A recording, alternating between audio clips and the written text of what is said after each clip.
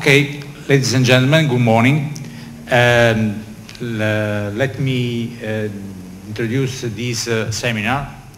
Of course, is uh, the phone call, excuse me. Uh, people that I, I called just a few minutes up calls now. Uh, this uh, seminar on BCI that is supported by our guest, Dr. Guger, and this the company that is uh, shown here, GTEC. And uh, uh, a seminar is the opportunity to go deeply in BCI technologies, to have an overview concerning the opportunity of research and the opportunity to, to uh, the afternoon we'll have uh, practical sessions and we'll have uh, possibility to make brainstorming concerning uh, these, uh, uh, these technologies. So this seminar is more, I, I expect as a, a, an informal, not formal workshop, but an informal workshop because uh, it's not uh, a lecture of Chris Guger, of myself and Fabrizio and so on, but it's uh, an a, a, a, opportunity to to discuss all together concerning this idea. In these uh, rooms, and my, uh, my speech is just for uh, introduce one each other. In this room we have mainly students of biomedical engineer in the last year. So students that are just a little bit before to get their final thesis. So these seminar is the opportunity to have to look for which thesis can get in order to have an overview concerning a challenge for themselves. And I look forward that I spoke with them just a few minutes before, just to invite them to, to stay, to pay attention, to, to be curious today, and to ask to make questions. So please, there is a, stop us, uh, make question, because to have just uh, uh, all the, the information we need for clarify which is uh, the, the, the, the, the, area of discussion. Then we have uh, some scientists. They have three neurologists that comes from Second University of Naples that uh, they are scientists concerning uh, uh, sclerosis lateral amyotrophic. I hope this is well, well speech. Amyotrophic lateral sclerosis. And they are neuroscientists. They have previous experience concerning fMRI and pay a big interest concerning BCI. Of course, they join us for other research. You can consider, for instance, the opportunity to spend some time for their thesis with them because uh, of course uh, you you could spend sometimes for instance even in their company with uh, a possibility to make uh, some uh, uh, internship abroad and so on. There are different possibilities okay? And then we have here professor fabrizio esposito that is is an ex-student from this university, now is professor at the University of Salerno, and I think uh, is uh, probably the biomedical engineer more expert concerning fMRI in Italy at the moment. And uh, is a, a, a, good man, is a, a, a, good scientist, is professor and is engaged with us in, in this theme and uh, cooperate with us and you could spend some time with him for making research at the University of Salerno. So it's, a, it's an area of cooperation that we look forward for establish today on this, uh, on this area. And he will introduce, uh, after uh, Professor Guger, some concerns uh, the fMRI just for looking forward possibility of joint integration between BCI and fMRI.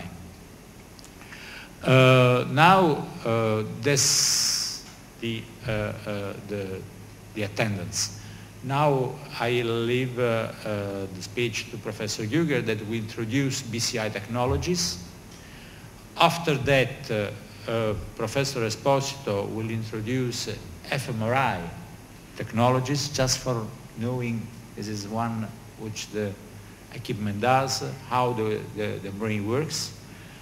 And then I will speak concerning the possibility that what is the context of rehabilitation where we uh, look forward for use BCI technologies and some concerns what we have done in the past, uh, some dissertation thesis, so two students will speak about their thesis on BCI just for discussing what's, uh, which problem we get and so on. Okay? And uh, in all this speech, please stop if you have some questions to do and so on. Okay? So, please, Ralph, yes, your speech. Thank you very much for organizing the workshop. Um, the title of the talk is Non-Invasive and Invasive Brain-Computer Interfaces today. You can see also my daughter, when she was one year old, playing with our biosignal amplifiers that we use for brain-computer interface experiments. And you can imagine that's the most expensive Lego that you can buy. Um, so today I would like to mention the four concepts that you can use for realizing a BCI system. I will also introduce functional mapping with invasive technology called ECOG where you need a neurosurgeon uh, implanting the grids, the electrode grids on the cortex. And then I will uh, mention applications like stroke rehabilitation, coma assessment, and also avatar control with brain-computer interfaces. So we have a couple of companies. The first one, Guger Technologies, is located in Graz. And that's the company doing the research projects, mostly from the European Commission. And GTEC Medical Engineering, it's located in the north. This is close to Linz. And this company is doing the international sales. So you have to be careful if you meet somebody from GTEC, they want to sell you something, but it's safe to speak with somebody from Guger Technologies. And we have also an office in Barcelona because we have a couple of research projects going on in Spain, so it's easier for us to work together uh, directly from Barcelona. So here, it's not so difficult to explain where Austria is located. We don't have kangaroos, but we have Wolfgang Amadeus Mozart in Salzburg. We have some castles in, in Vienna. And we have a clock tower in Graz, which was destroyed by Napoleon Bonaparte some years ago. And you can also see the, the spot in Barcelona where we are located. Um, we have a couple of research projects that uh, going on at the moment, and I would just like to mention a few of them. So the first one in ReNaChip, we were using brain-computer interfaces to replace a certain function of the cerebellum of a rat. So the brain-computer interface was making decisions like the cerebellum for, for a paralyzed rat, more or less. Then in BrainAble, for example, we are constructing brain-computer interfaces to control virtual reality environments and social networks like Facebook and Twitter. And maybe the last one that I want to mention is VERE, where we control avatars with the BCI systems. So the idea is that you can send your personal avatar to other places and the avatar is doing tasks for you. Um, so this VERE project uh, will be introduced in a couple of slides today. I will show you a couple of videos. Um, the coordinator of the project is Mel Slater from the University of Barcelona. He is one of the pioneers in virtual reality. Actually, he was the person who first built a cave system in London. And inside the project, we are called, uh, uh, controlling virtual avatars in virtual reality, but we have also real robotic avatars that you can send around. We also got a couple of awards for the technology. Maybe the biggest one is the Microsoft Innovation Award a couple of years ago. And if you want to do brain-computer interface experiments, you need, of course, a subject or a patient. You are recording EEG data or ECOG. If you have a neurosurgeon doing the implants for you, the brain-computer interface is generating a control signal in real time so that you can move, for example, a cursor on the screen. And this is very important because it gives feedback to the user. So if you see the cursor movement, you can learn to control the BCI system better. Like normally if you learn something, if you see what you're controlling, your performance is better. There are many different applications. Maybe the most useful one at the moment is the spelling device, which allows locked-in patients to select characters and form words and sentences on the computer screen. You can use it for prosthetic hand control, for controlling mobile phones, like Nokia is doing it. You can play games. In this picture, two people are hooked up to the BCI system to play ping pong. Many people do art installations recently, so you can paint with brain computer interfaces, or you can generate music. In Japan, of course, they control robotic devices. We use it very often in virtual reality because it's a very nice simulation environment where you can test your brain-computer interface and you can also test patients if they are able to control it. And recently, uh, many people use it for stroke rehabilitation um, to have a better outcome after the accident. A couple of years ago, I was also doing a workshop in Mexico City. In the middle, you can see Oscar Suarez, a famous BCI researcher. But interesting is the EEG machine in the corner of the room, which has a lot of dials and uh, gauges for uh, performing, setting the amplification. And they have a very nice concept. They have a little Madonna on the machine praying for a long life of the EEG equipment. So at GTEC, we do it a little bit differently. We design electronic devices, biosignal amplifiers. You can see we do it very quickly. And we designed these amplifiers to be able to record EEG data on the surface, but also to record directly from the cortex with invasive technology and you can also put needle electrodes into the brain to record from single cells. And you can all uh, you can record all these signals at the same time. And that's very important to learn from each other. And it also opens a lot of different applications that you can control with the brain-computer interface. Um, recently we developed also a wireless system, which I have also on the table, and I would like to demo it in a couple of minutes. Important is that all the electrodes, active electrodes, are sitting on the head. So each little red electrode has already an amplifier inside. And this gives a very nice data quality combined with the biosignal amplifier that's sitting here. That's also an ADC and a wireless transmission with 2.4 gigahertz like your mobile phone is using. And important is that everything is sitting on the head and therefore you get very nice EEG data and not many movement artifacts. You can even run a little bit, you can jump a little bit while you are doing experiments. There is also a, a dry-electrode version. So in the other picture we needed electrode gel for preparing the skin in this uh, version. We just have golden pins to penetrate the skin and then the preparation is much quicker you will see in a couple of minutes. Uh, if you want to do BCI research or BCI experiments, you should also have a BCI lab. And here you can see a plan what you would need for doing it. So normally you put the person in the middle of the room into a comfortable chair. Then just behind the head is the biosignal amplifier so that you have uh, short wires to reduce artifacts. The amplifier is connected to a real-time processing system, that's the BCI system itself. And the brain-computer interface is connected to a normal computer screen for giving feedback, but you can also have head-mounted displays for stereoscopic effects, or you can also have virtual reality system to have highly immersive environments and life-sized avatar, for example. And at the same time, you can do also electrical stimulation, haptic stimulation, audio stimulation. You can use microphones or eye tracker to log user responses. And this is all speaking with each other in real time. So you can fully automate your experiment. And you can also control, for example, exoskeleton or a rehabilitation training device if you work, for example, with spinal cord injury patients or with stroke patients. Important uh, for doing BCI experiments is, of course, to record EEG data as quickly and robustly as possible.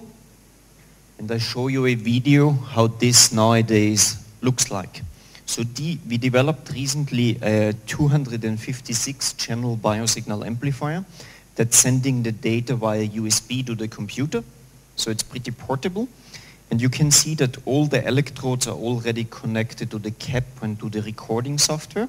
So all what you have to do is when a new patient comes in, you put on the cap, you close the chin strap, then you make sure that the cap fits the head, and then you take a syringe with the electrode gel inside, and you fill each of the active electrodes. So again, here each electrode has already an amplifier inside.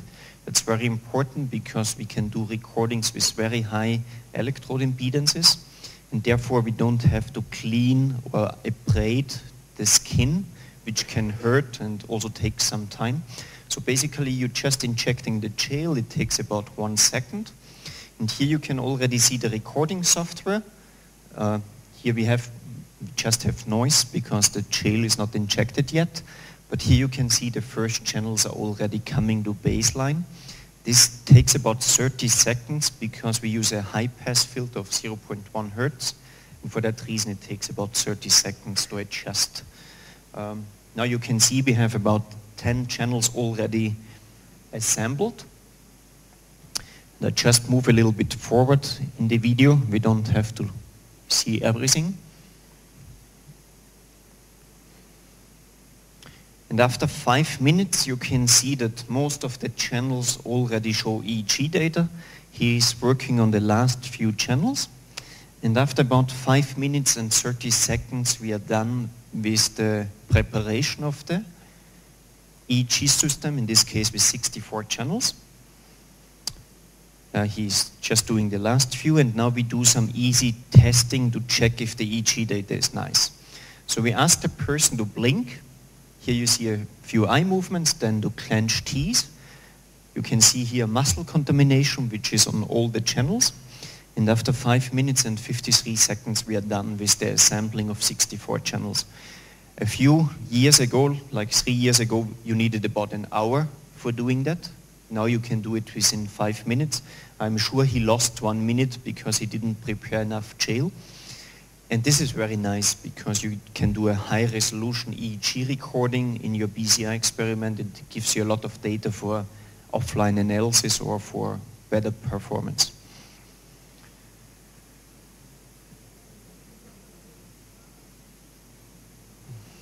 Any questions so far?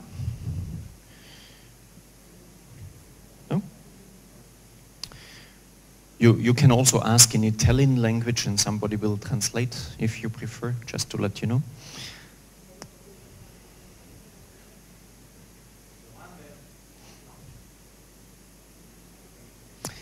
So there are four concepts that you can use for realizing a BCI system. First, you can use slow cortical potentials. This means you're modulating very slow waves of the EEG signal with some neurofeedback training uh, this takes pretty long, a couple of weeks or months to learn it, and it's not very robust and accurate. That's also the reason why it's not used nowadays anymore, but it was the first principle used for BCIs. Then you can use steady state visual evoked potentials, where you have, for example, a LED flickering with 10 hertz, you look at the LED and the same frequency will be induced in your EEG data. So you will see a 10 hertz peak and a fast Fourier transformation and you know the person is looking at the LED and this is your control signal. You can also use event-related non-phase lock changes of oscillations. That's a very complicated name, but basically you ask the person to imagine a right-hand movement, a foot movement, a left-hand movement, and this is uh, modulating your alpha and beta oscillations in the brain, and the BCI system is detecting it. And the last principle are the evoke potentials, for example, a P300 response that we will also uh, experience in the afternoon. So we have a practical experiment where we use the P300 response. I have also another video which shows the application of dry electrodes where you don't need the preparation with the gel. So it's the same setup as before. We have the brain-computer interface, a biosignal amplifier that we will also use in the afternoon, a cap with 16 uh, dry electrodes already inserted. Everything is already connected to the system. So the patient is coming in, and now he is fixing the ground and the reference on the mastoids. This is the bone that you can feel behind your ears. And then he's just uh, twisting each of the electrodes a little bit to make sure that the electrode pins go through the hair and touch the skin. And after about 30 seconds, we are done with 30 channels, with 16 channels, and we do the same testing like before. So we ask the person to clench teeth. So here you see the muscle activity again. And we ask him to blink. So here you see eye blinks, mostly on the frontal channels because they are closer to the eyes. And after 53 seconds, we are done with the assembling and testing, and you can run your BCI experiment. But very nice is that you don't have to give the patient a hair wash afterwards. So here you can see the electrodes with the pins, and the golden pins just go through the hair and touch the skin, and this gives you pretty nice EEG data.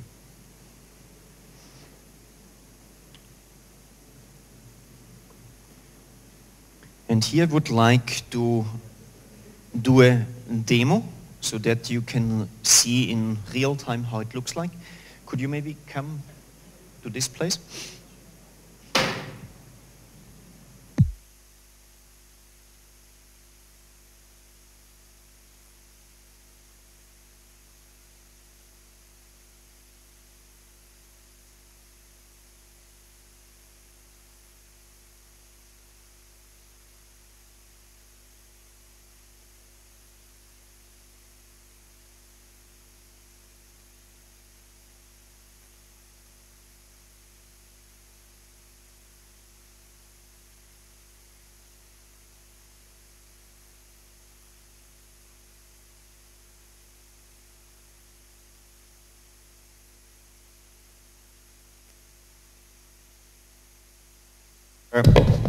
There's also a, a so-called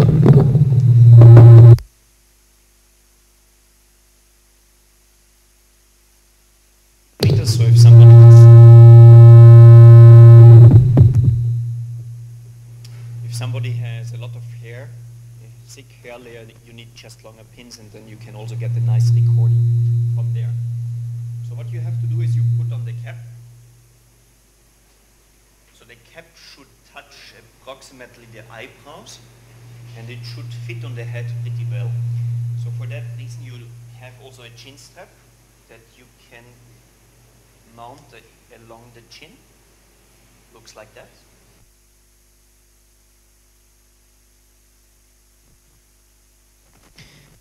Switch it on. Okay. And now you can see here a yellow cable. This is the grounding electrode of the amplifier. Every biosignal amplifier needs a ground potential, otherwise you cannot measure voltage. And this is normally mounted on the left mastoid. So this is just the bone behind the left ear. And on the other side you can see a blue electrode, that's the reference.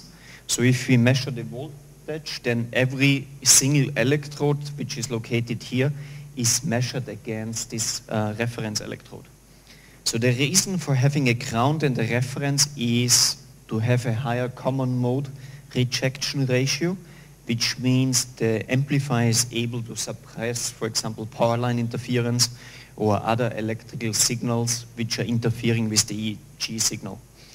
And then I have to twist each of the electrodes a little bit just to make sure that the electrode goes through the hair.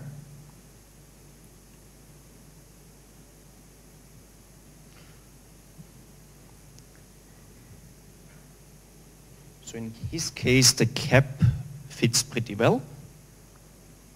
So all the electrodes are fine. Okay, and now I can hold it again. Grazie. And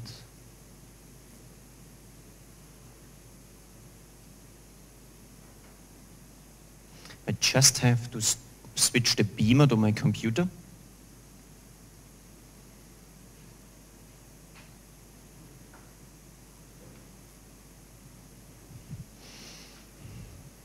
Okay, I keep this resolution and now I start up the GTEC data server which is screening inside the, the room if there are any wireless systems uh, available. I already switched the little box, the amplifier and transmission unit on. And you can see it finds a Nautilus with a certain serial number. So if you have multiple devices, the serial number helps you to identify which system is which one. And then I just select the Nautilus system. Takes a little bit to establish the wireless connection. And this is now already the configuration window for the wireless system. So here I can select, for example, the sensitivity of the amplifier that I want to use. Here you can see a list with 32 channels. They have names according to the 1020 International Electrode System. So this is, for example, position CZ. And if I know the position, then I can remember it, where the electrode was located. And of course, it allows also to compare different publications and studies, what they were doing. So I changed the sensitivity. I could also do bipolar derivation, which means I'm subtracting electrodes from each other. But I select a bandpass filter from 2 hertz to 30 hertz. So this will remove everything below 2 hertz and above 30 hertz. And I use also a notch filter uh, to suppress power line interference. So here in Europe we have 50 hertz. So this means there's a band stop filter at 50 hertz to get rid of any power line interference that we might have. Okay, then I confirm the settings. Takes a little bit and I start the acquisition of the data. Maximize the screen. And what you can see here is already some EEG data. So this is now from the first 11 channels and they are mostly close to his eyes. And now I ask you to blink a few times. Now you can see the, the artifacts in the data. So these are blinking movements. So this was a movement artifact that you can see here. Blink again. And here you can see the, the blinks. Then I scroll down a little bit. So these are channels mostly over the visual cortex on the back of the head. And now I ask you to clench teeth. Clench. So here you see muscle contamination. It's on all the channels because these muscles here have about the same distance to all the recording electrodes that we have. Now please close your eyes and relax.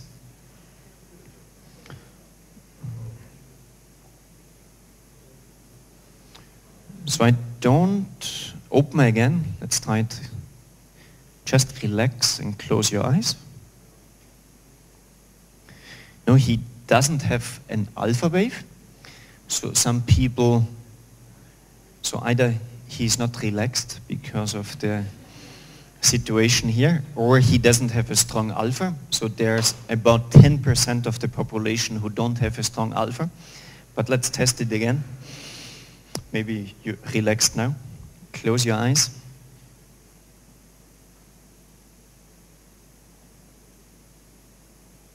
No, we, we don't get the nice alpha, but it doesn't matter.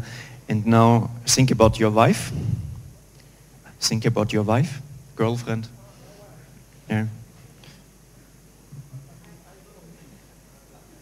Oh, as you like. You see there's no reaction. so and I stop again. So this is basically what you have to do uh, for doing the, the wireless recording. So it's pretty fast to put it on. And the nicest thing, of course, is if I'm done, I just remove the cap and I don't have to wash his hair. Uh, I'm happy that I don't have to do.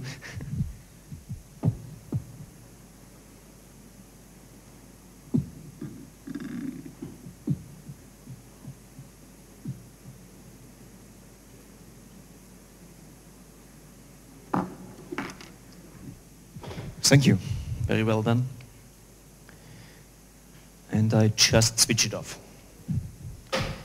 Any questions?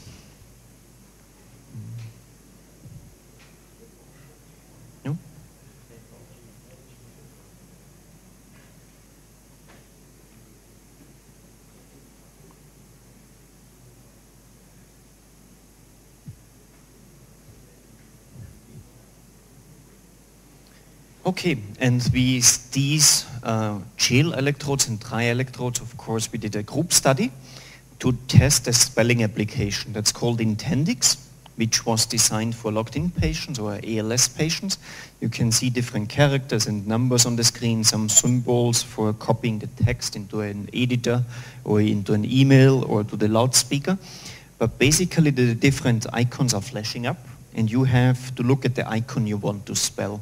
And every flash is a, producing a P300 response or in the brain that the BCI system is detecting.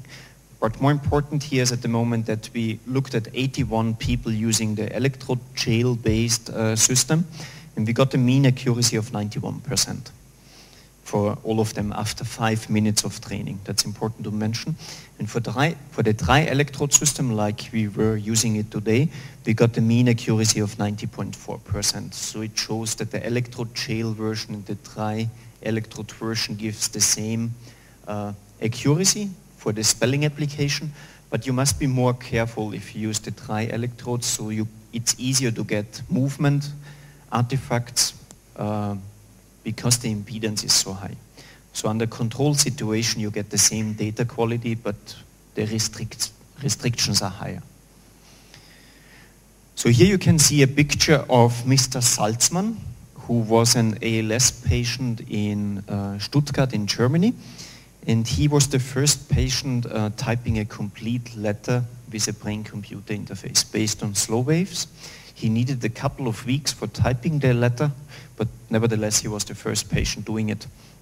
You can also see that he is artificially respirated. You can see the big amplifiers and the big PCs about 15 years ago. And this is Niels Birbaumer, uh, the head of the department where the study was done. If you are using motor imagery as a concept of BCI control, then you ask people, for example, to imagine a left-hand movement. And this is activating the right hemisphere. You can see the red spot here. That's called event-related desynchronization. And basically the power in the alpha frequency band is decreasing. This means the power around 10 hertz is going down during the imagination. And if you ask the person to do a right-hand movement, you see the activation on the left hemisphere. And the location is almost the same for everybody. And for that reason, we just place the electrodes here for right-hand movement, here for left-hand movement, and here would be, for example, foot movement. So this is very nice because we know electrode locations already in advance. And a couple of years, we had also a spinal cord injury patient, Tom, with a C4, C5 lesion. And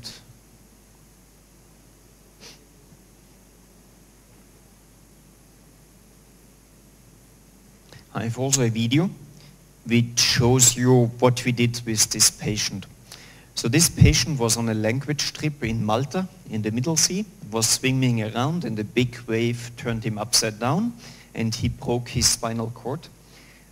From this day on he was paralyzed, so at the beginning he couldn't speak, he couldn't breathe himself, he couldn't move anything below his neck.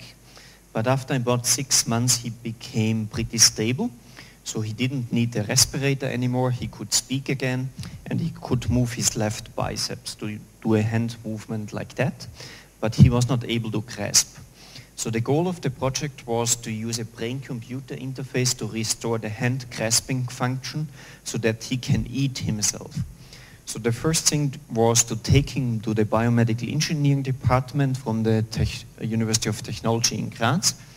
And we did some brain mapping to figure out if he's still able to activate the sensory motor cortex like any healthy person is doing it.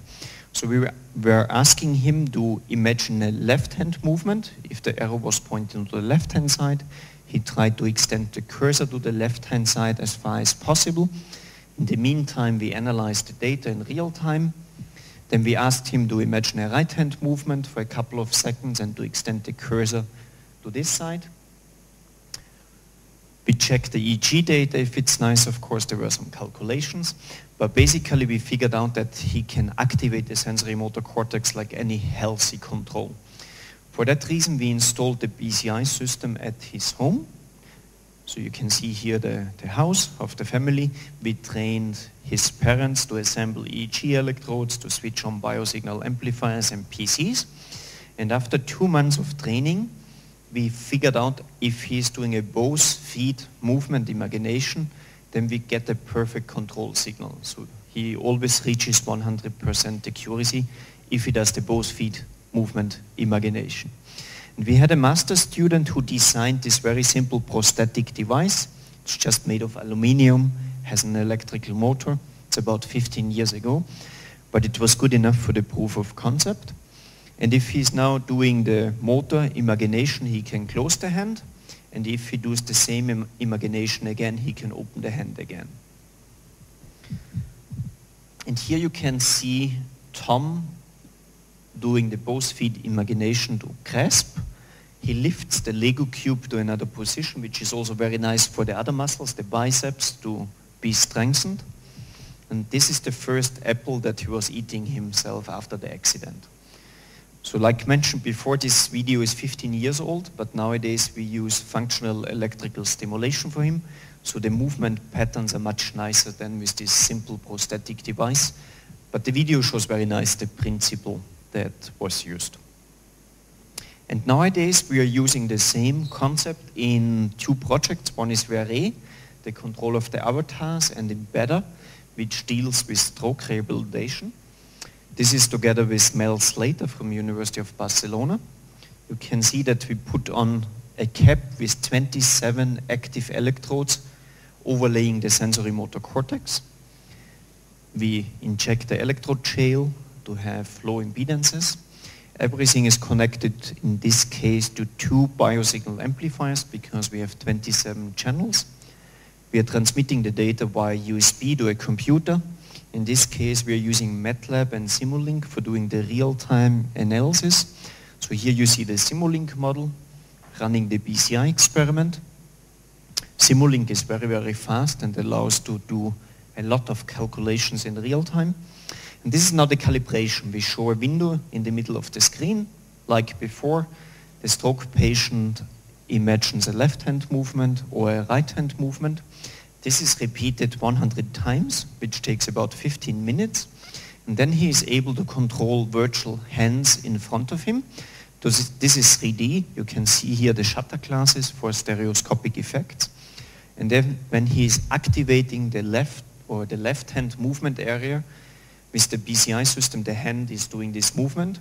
And this has a very nice effect on the rehabilitation because he sees the movement, so he has the impression like moving his real hand. And he, this is activating again the sensory motor cortex. He is actively doing the imagination. And we get very nice rehabilitation outcomes with this setup. And nowadays we use also functional electrical stimulation at the same time so that the body is really moving uh, while he's doing the imagination. So up to now we learned that motor imagery works very well for right hand movement, left hand movement and foot movement, but it's difficult to get more degrees of freedom. And for that, we can use the ECOG, where we implant electrode grids directly on the cortex. So here you see, for example, a patient with the ECOG grids already implanted. So this grid has about 40 electrodes, for example. And this study here was done by Kai Miller, who is at Stanford University. And he was asking the patient to be at rest and not to do anything. And then he calculated the power spectrum that you can see here. So you can see that the spectrum is going down with increasing frequency. This is the 1 over f damping of the EEG signal when you are not doing anything. Then he asked the patient to do a hand movement. He calculated the power spectrum again. You can see it here in red. And interesting is, of course, to compare the blue and the red line. So in the low, in the low frequency band, this is the band that we already know from the EEG, we see that the resting E has a higher power than the hand movement. This is the event-related desynchronization that I explained already before. But interesting is now that we can also investigate the high frequency band. This is gamma activity. above 80 hertz. And here we have the opposite. So during the hand movement, the power is higher than doing rest. And this is called high task-related high gamma activity. And this is a very nice control signal for BCI systems. Interesting is also for the low frequency band here, we need a very large cortical network for producing the activity. But for the high frequency band, we just need a very small spot, more or less one electrode coding the information. So based on this knowledge, Kai did another recording with this patient and he was just investigating three electrodes which are shown here in color and then he used a data glove to track uh, body movements so we were, he was asking the patient to move six times the thumb, couple of times the index finger, couple of times the little finger. And then he was reconstructing the movements from the electrodes shown on the picture. So in this case, he used the dark blue electrode to reconstruct the movement, and you can see the movement patterns match very well. Especially the onset is very pronounced because it's a new task for the cortex that it has to do and therefore we get a lot of high gamma activity if you do a new task. Same is the case for the index finger and for the little finger. And you can also see that we don't have false positives in between, which is very nice. So we learned that ECOG allows us to distinguish even different fingers this is a task that's totally impossible with EEG data because you don't have the resolution on the surface. But how fast can you find these regions because you don't know which electrode is coding which information? And for that, you can use a functional mapping procedure which was developed by Gerwin Schalk. I show you a video so that you see how this is working. So we have an epilepsy patient located here in the bed. He's solving Rubik's Cube with his hands. And at the same time, we are recording the ECOG and we do some functional mapping of the high gamma activity. So the little dots are the electrode grids implanted in the patient. And you can see after a few seconds, the red circles are adjusting to a certain state. And a circle means that this region, for example, is coding the hand movements. Here you can see the instruction for the patient. So now he is uh, sticking in and out the tongue, performing tongue movements. And again, after a few seconds, the circles are converging to a certain state and they identify the most important electrodes for tongue movement. Then we ask the patient to stop and relax again, to have a baseline period. It takes about 10 seconds.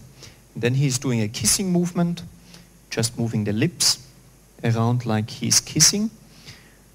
So of course the kissing and sticking out the tongue is related to each other.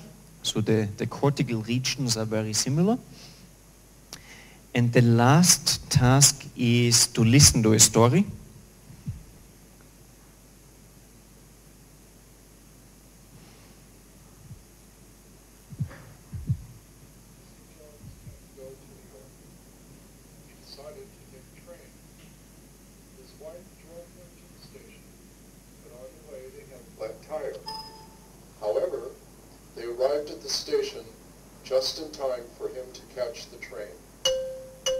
And after a couple of seconds listening to a story, we have identified the auditory cortex. And this altogether is very important information for a neurosurgeon because he knows the most important regions where they are located.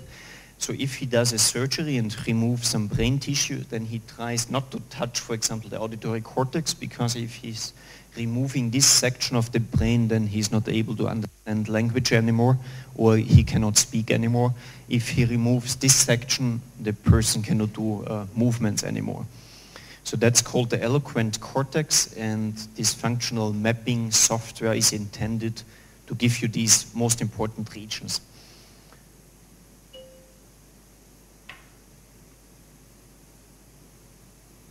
Yeah, we validated the system also with electrical current stimulation and functional MRI, but I just skip some of these slides and come to the conclusion. So the ECOG gives us a very high resolution, but it's invasive. And how can we get many choices on the surface with doing EEG recordings? And for that you can use the P300 potential for the spelling application, like already mentioned before. So you show a, a matrix with different characters and numbers, and you tell the person, for example, look at the W and count how many times the W is flashing up. And then all the icons are highlighted randomly for a very short time period. And as soon as the W appears, your brain is responding with the green curve shown here. So the red line is the time point when the W appeared on the screen, and your brain response is about 230 milliseconds delayed and it has an amplitude of about 7 microvolt. So it's very tiny. And you can also see the blue line here. This is the brain response for all the other characters, A, B, C, D. So the amplitude is about 2 microvolt. This means the difference between the blue and the green line is about 5 microvolts. And this is what the brain-computer interface has to identify to pick the W. And of course, you want to run a brain-computer interface experiment as fast as possible so that you can type as quickly as possible. And there's a little trick that you can do. Instead of highlighting single characters, you can also highlight a whole row or column at the same time. Looks like that. And this gives you a speed up of, six times. So you are six times faster than the mode that I have shown you before.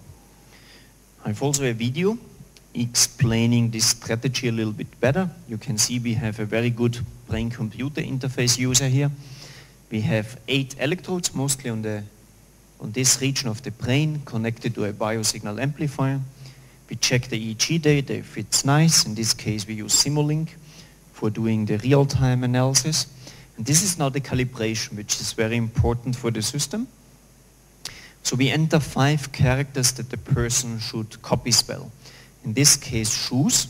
So it doesn't matter which word you use, you should just have five different characters. And your task is now to look at the S and you count as fast as possible how many times it's flashing up. Like one, two, three, four, five. And every time your brain is responding with the P300 response. And after 45 seconds, we can already make a decision at which character you looked at. You see the S is selected and now you move to the next character which is the H and you count again. So altogether it takes about five minutes. During the calibration it's important that you are relaxed, you should not move, you should not speak, you shouldn't have a chewing gum because this is messing up the calibration data. But after this calibration, we can already increase the speed of the BCI system. And now we are spelling GTEC with only two flashes.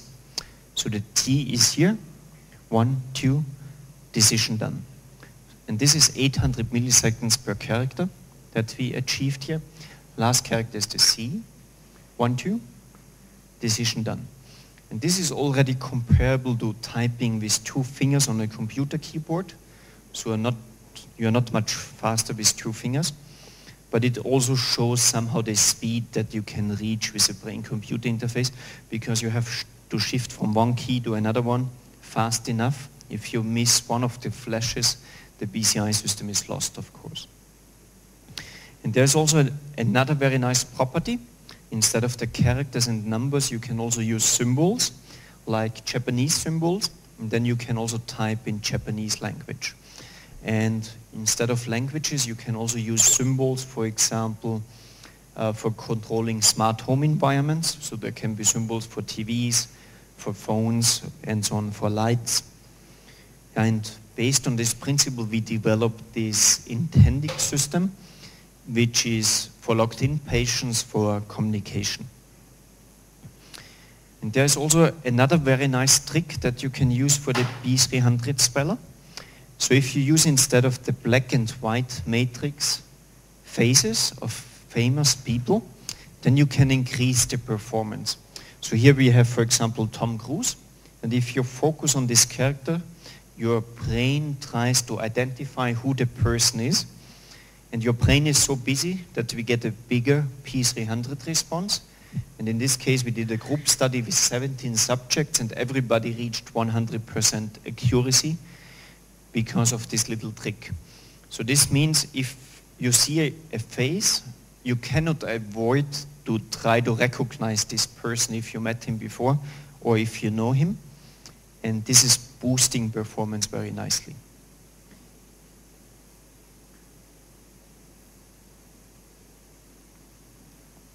Any questions so far?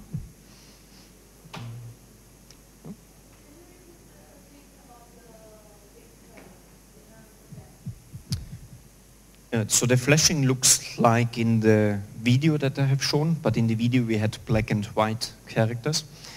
And with the face speller, we have still the same black and white characters, but they are interleaved with the faces.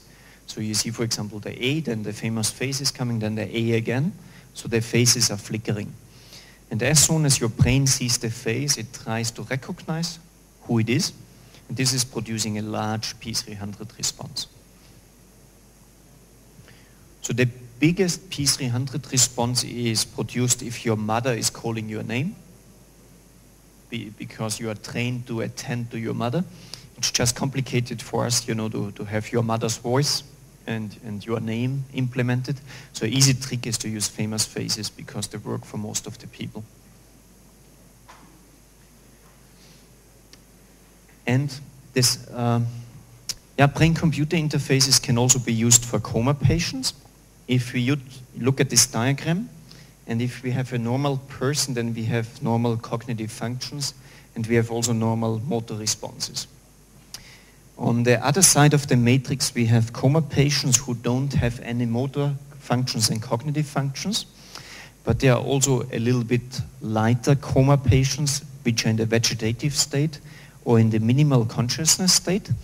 So you don't get motor responses usually, but they still have cognitive functions. So they can understand, for example, instructions, but there's no way for you to find this out. And for this reason, we developed a system that's called Mind Beagle, so that we can test if the coma patient still has some uh, cognitive functions left. So in this case, we use, for example, auditory stimulation with the same EEG electrodes that we use for Intendix, for the spelling device beforehand. It's a computer system doing the real-time analysis. And we are just giving different stimuli, like a low tone and a high tone and we asked the coma patient to count the high tones. And every time the coma patient hears a high tone, a P300 response is detected. And if we find this P300 response for the coma patient and the brain-computer interface tells us 100% accuracy, then we know that the coma patient was understanding our instructions. And this means he is understanding conversations. And this is, of course, very important information for families but also for the doctor to understand if he's understanding you. And you can also test with vibrotactile stimulation, giving also P300 responses, or with motor imagery. So up to now we learned that the P300 gives us many different choices and it's a goal-oriented approach. I look at the A and the A is selected. But how can we get a continuous control signal? And for that, we can use steady state visual evoked potentials. So there's, for example, a LED with 7 hertz. You're looking at the LED, you record the EEG and calculate the power spectrum with a fast Fourier transformation. Then you find a peak at 7 hertz. You'll find also a peak at 14 hertz, which is the first harmonic component. And this gives you one degree of freedom. So if you want to have two control options, then you use two LEDs with different frequencies. So if the person is looking here, you'll find a peak at 17 hertz and you can move a cursor, for example, left. And if you find a peak at 14 hertz, you can move a robot to the right-hand side. So that's pretty easy. It works also for six degrees of freedom. You use six LEDs. And Professor Gao from Beijing realized even 48 degrees of freedom with this principle. So I show you also a video that you can see in real time how this looks like. This video is from Deniz Erdogmus from uh, Northeastern University in Boston. And he's using a computer screen with four checkerboards. So this checkerboard here is for moving forward, for moving right, for moving left, and for moving backward. And in the middle of the screen, there's a video coming from a small robotic device that's going around in the lab, and it's controlled with the brain-computer interface. That's very nice because you can explore your environment. You see, for example, that the student is not working. That's, that's nice to investigate the lab. So as long as you are looking at the checkerboard that corresponds to forward movement, the robotic system is moving forward. So here you can see it. It's a cheap cleaning robot that you can buy for 200 euros. He fixed a webcam with video streaming on the robotic system and now he can explore the environment. That's a nice setup for patients because mostly they are located in a room and if you want to participate, for example, in family life, you can send the little robot around to see what's going on.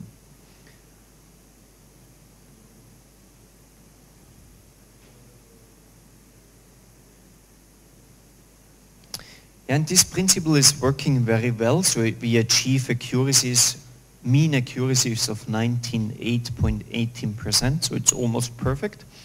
And for this reason, we decided to hook it up also to World of Warcraft.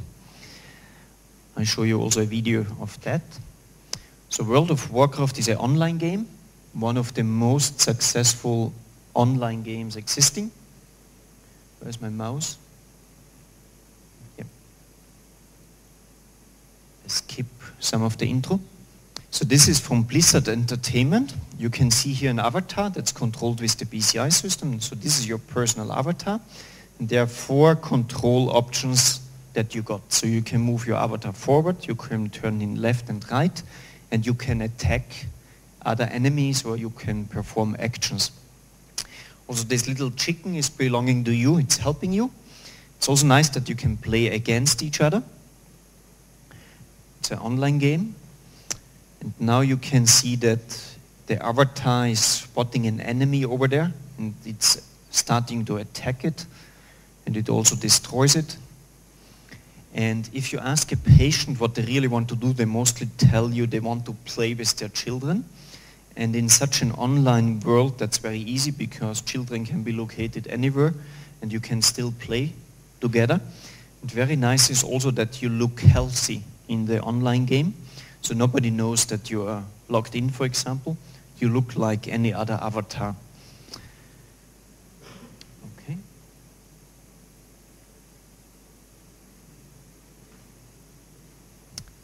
So up to now we learned how to use the goal-oriented P300 brain-computer interface and the continuous control with SSVEPs or with motor imagery, but how can we control avatars?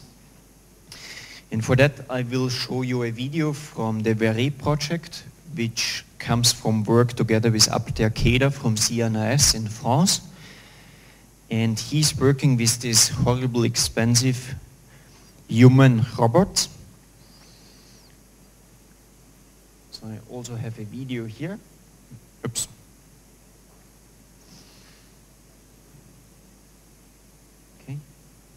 So here you can see the robotic system standing in front of a desk where we have a Coke and a Fanta bottle. Here you can see the BCI user, the patient with the screen. And with the BCI system, he made already the decision to grasp the Coke bottle. So the robotic system is pre-programmed, so all the movement patterns for grasping and taking the Coke are pre-programmed. With the BCI system, he's just making the high-level decision to take the Coke and not the Fanta. This is like human beings are doing it. So if I grasp my mobile phone, I don't imagine my hand going down, down, down, forward.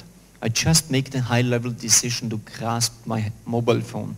Then my body is doing it for me. So this is what we replicated here. And now we are switching into continuous control mode. You can see here four icons. So again, one is for forward movement, one is for left, right, and backward movement. And now you can see the robot moving around. And very important is also that the robot has two cameras here on the head. And the BCI user is seeing exactly here what the robot is seeing. So this is like your personal avatar that's exploring remote places and you see what the robotic system is seeing. So the robot is not very fast and Pierre here, one of the students, is just securing the robot because it costs about 1 million euros. And if it's falling down then it's destroyed. So he is there for security reasons. And he's also holding the power supply. So they need quite a bit of energy. That's the reason for the cable. And important is also that the robot has some context awareness. So now the, the robot recognizes there is a table and it stops automatically and now the BCI system is, is switched to another mode now the BCI user has the option to place the bottle to four different locations. So he makes again the decision where he wants to place the Coke. And afterwards the movement program of the robotic system is called again and automatically the robotic system is placing the Coke to a certain position. And very nice is that the robot can learn different tasks and afterwards, you are just recalling it with your decisions with the BCI system. This is like a human being. I'm learning to move in a certain way. And afterwards, I'm just starting the program and it's automatically performed. And there are many different applications for avatars. They are nice for locked in or paralyzed people, of course, but also for healthy users like journalists there are nice applications. You could send, for example, your robotic avatar to Israel to do some journalistic activities over there for you because you don't want to go into Gaza, for example, or similar stuff.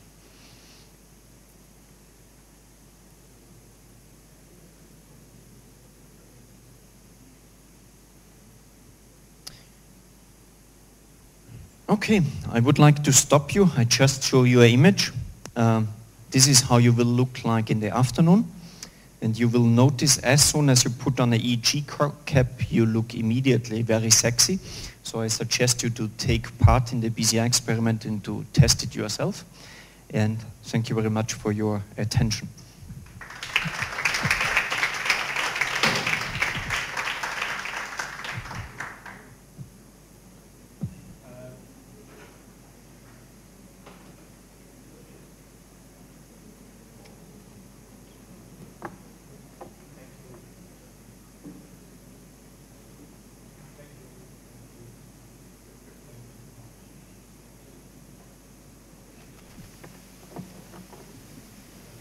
Thank you for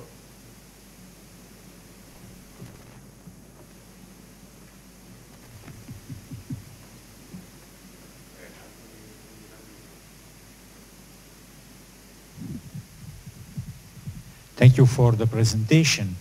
Um, just uh, for uh, we uh, we have we received a quite uh, uh, a quite large uh, introduction of different different field, field of application. And now we have a, a, clear idea that a number of things that could be done with BCI. Of course, it's very it's very clear that it is not so easy how it appears to get real application and my opinion is there is still a lot of work and uh, a lot of work to do in order to make these applications really reliable and uh, uh, usable. And I look, the, I see that uh, uh, there are that no more has been told concerning uh, the theoretical basis of BCI. this just for be clear, it's clear to everybody more or less how BCI works in, uh, as a principle of application, or there are something, uh, or, uh, or you need some uh, further explanation about, uh, about that. It's clear to everybody? It's, okay, so we can go ahead, or you need some, uh, some, some explanation concerning the theoretical basis? No? It's clear? Sure? Okay. Uh, well, now uh, my suggestion is uh, to invite to the chair uh, Fabrizio Esposito and for introducing uh, the views from uh, from the neuroimaging side, just for have, a, have an idea of understanding of how the brain works.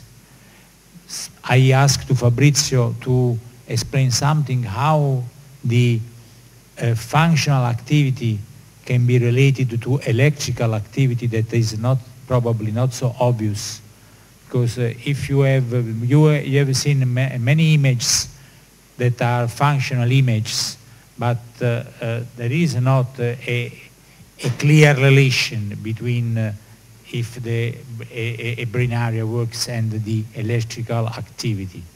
So Fabrizio will give you our detail, some more details and introduce uh, some item of research concerning uh, the studies on uh, fMRI and the possibly application on BCI.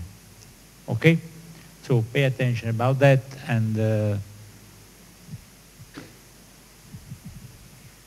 Thank you, Sandro, for uh, inviting me in this uh, very interesting uh, uh workshop uh, where, of course, the topic uh, was brain-computer interface and which is not my um, primary field of interest. However, in the last few years, I've got involved in a couple of projects where uh, there is uh, an attempt to uh, bring the knowledge of the brain that we can get from a slightly different aspect in perspective in, with uh, functional magnetic resonance imaging in the context of uh, BCI. Um,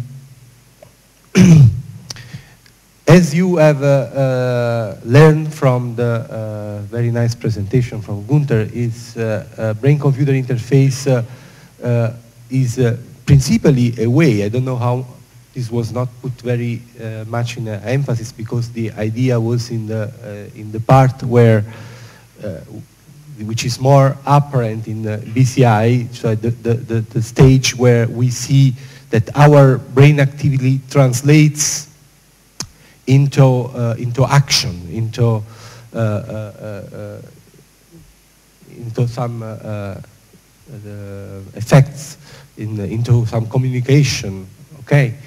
Uh, but there was at least one slide quite evident that an important role is played by, was mentioned the importance of the feedback that we get during uh, uh, the first stage of, of uh, uh, setting up a brain-computer interface, which is called the training stage.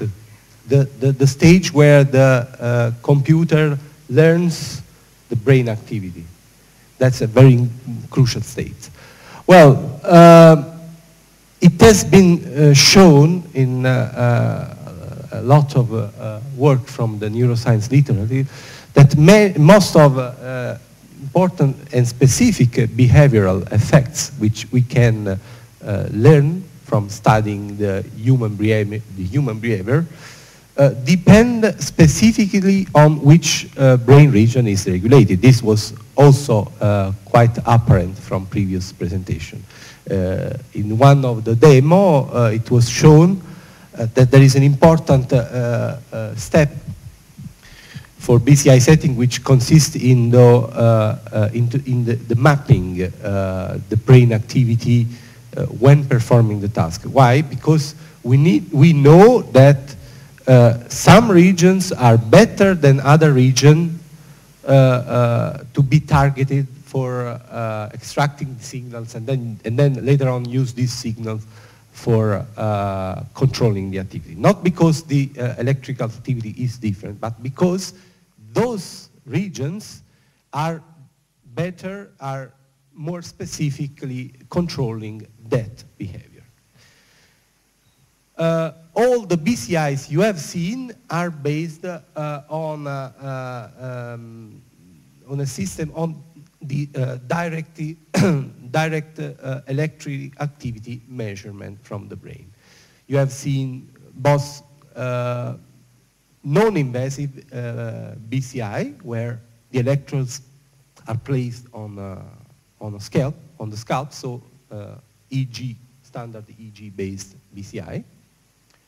And, uh, uh, but you have also seen uh, ECOG-based BCI, so where electrodes are implanted right into the brain on the cortical sheet.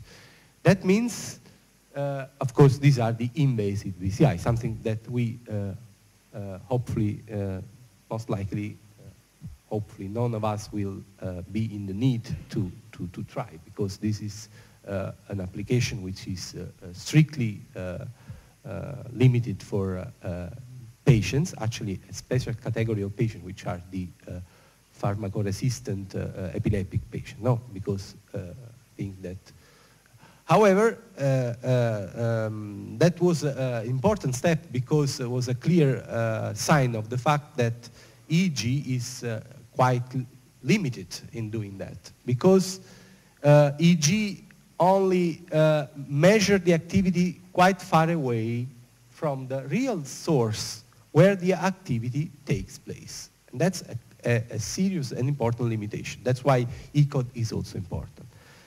Uh, besides the invasive aspect of ECOG, there is another aspect which is, would uh, be probably important to, to point out. The fact that even when we have the chance, and this is limited to patients, as I say, to epileptic patients mainly, in general, but can be, of course, uh, implanted in other patients, uh, even when we use the uh, invasive options of the electrocorticography, we still have some limitations. So we can use uh, uh, this so-called grid, this grid of electrodes, which are implanted in a specific place, but still these grids will not cover all, uh, uh, uh, all the possible regions that can be activated during the task. So even if they resolve the problem of uh, giving us the electrical signal from the closest point in the brain, so we have not the problem of measuring something very far away from the brain, still we will have some choice, which, which are normally not driven by the uh, uh, uh, BCI tasks sometimes are driven by other considerations. So you, we have seen how nicely we see the activation of the auditory cortex and the somatosensory cortex uh, the patient. But we see the activity on that region, uh, but those grids can say nothing about other regions which are not covered by the grid. So we also have this other aspect to keep in mind. So uh, tomographic uh, neuroimaging techniques, and uh, among these, among them, uh, functional magnetic resonance imaging, which is the most important does, does not have this problem. Or these problems are much, uh, uh, um, are principally not there because um, as, as, all the tomographic uh, techniques, uh, functional magnetic resonance uh, is capable of measuring activity from basically all the place in the, in the, in the brain. And the resolution depends uh, uh, on the magnetic field, and nowadays we can reach resolution uh, in the order of uh, one or less millimeter with ultra high field magnetic field, 7 Tesla and higher. That means that we can uh, have the chance to uh, get information about brain activity from all cortical place in principle. And it's totally non-invasive, so we can do fMRI as much as we can, as we like, uh, for instance, to uh, train uh, a brain-computer interface. So uh, these are the main regions why uh, people in the last 10 years have also, although the literature on BCI is widely is mainly an uh, EEG or ECOG uh, oriented literature. There is also there is also some ongoing effort in developing fMRI base. Uh, what, so all fMRI bases so start, start from the uh, assumption that we can uh, allow via fMRI the volitional control of anatomically well specific region with basically no prior uh, idea, hypothesis uh, of uh, where this region come from or where we should place a grid and whatsoever. So that's the idea. From the technological point of view, uh, the direction uh, to uh, keep an eye on is the increase in the magnetic field. As I say, as I just state, we have now ultra high magnetic field, 7 Tesla and higher, which are uh, spreading around for uh, mainly for research, uh, which can increase a lot the uh, resolution, and that's also an important aspect for BCI.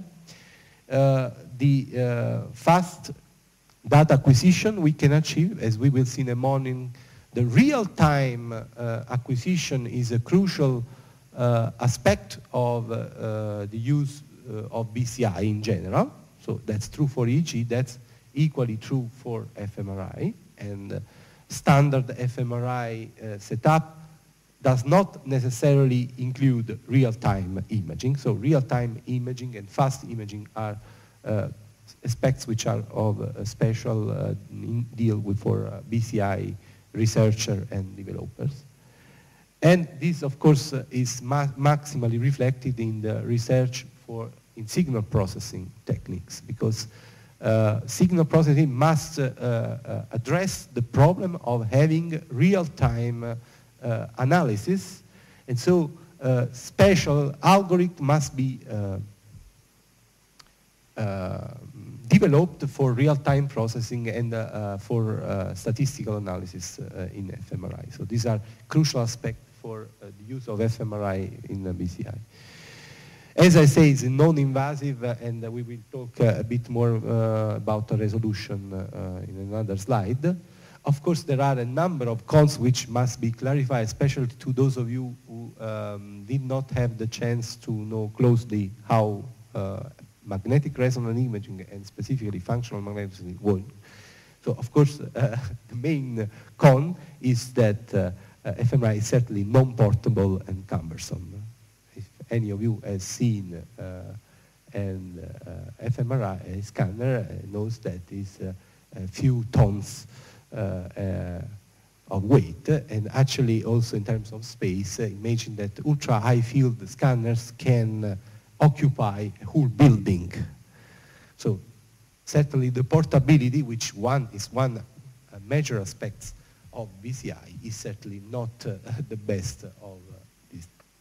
As a consequence, the main uh, application that have been developed with fMRI BCIs are communication application. Uh, communication can be uh, implemented uh, even without moving, so it's something that deserves some attention but also uh, treatment. Uh, treatment uh, with special attention to the feedback aspect, which has been also mentioned in previous talks. So um, feedback uh, has been, as has been uh, remarked previously, is, is very important in BCI because uh, it reinforces no, the um, performance of the BCI in, in, in fact, what happens is that this type of feedback, which is called neurofeedback for obvious reason, is actually turning out, uh, thanks to the capability of fMRI of being highly anatomically specific, uh, is turning out to become a treatment, a therapy, which is a clear, uh, uh very interesting aspect for, especially for uh, radiologists, because who always uh, have been used to uh, think to MRI as only as a diagnostic tool, thanks to the principle of BCI applied to fMRI, fMRI, besides a diagnostic, can become a therapeutic tool, okay, if properly uh, designed. There is another problem uh, of fMRI? The fact that uh, uh, uh, in contrast to EEG and ECOG, it is an indirect method for measuring electroactivity. So with fMRI, we do not measure directly the electrical activity uh, generated, uh, and so the, uh, the current, the neural current that activates in the, in the, in the region. So the mechanism is a bit indirect. Uh, when there is some increased neural activity in a region is, um, is the target, uh, which is the place, the source of the um, uh, activity which has been elicited by the task, no? So when uh, there is some currents flowing in the, in the cortex in a specific place, what happens is that there is an increase in metabolism, in local metabolism of this region. That means, what is metabolism? Mean, when we talk about metabolism, we, we mean basically uh, uh, in, uh, that there is more energy consumption. And this has some uh, hemodynamic consequences. Mainly, the most important one is the fact that there is an increase uh, uh, cerebral blood flow in that region. So there is more uh, uh flow of uh, blood in that regions. Uh, there are there is also an increased local cerebral volume, mean, meaning that the micro vessels which bring the blood to the place uh, are increase their volume. Okay? And there is also an increase in the uh, concentration of oxygen in the blood, in that, uh, right in that region where the electrical activity is taking place. So this, there is, uh, you see, uh, a, a, complex combination of uh, metabolic hemodynamic phenomena, which have the net effect of uh, reducing the uh, deoxyhemoglobin concentration of the uh, blood at that place as be because deoxyhemoglobin is paramagnetic. This turns out to reduce the dephasing of the uh, MRI signal in that point. Uh, I hope that uh, during the in the past you had time and the chance to learn how MRI works, at least the principle. Of course, we have not the time to go into details of that. But uh, the basic idea is that uh, after this uh, uh cascade of uh, uh, processes occur, what happens is that if we acquire data, images, with a special weighting, which is called T2 star weighting, the signal in that regions increase. And that is uh, uh, because we can obtain this uh, uh T2 star weighting quite fast in, uh, uh, in our acquisition with the modern scanners, modern, with the normal scanner, with clean scanner. Also, if we, what we say in MRI physics, we can acquire these images in one shot, and this shot can be completed in uh, uh, one or two seconds, to have an idea. We can acquire several images, one after the other, in a movie, and so we can detect this effect as increase. That's why uh, if you come to one of our lab where we do fMRI scan, you will see that you don't see only the uh, fMRI scanner. You see uh, all the equipment which is necessary to measure brain activity with fMRI.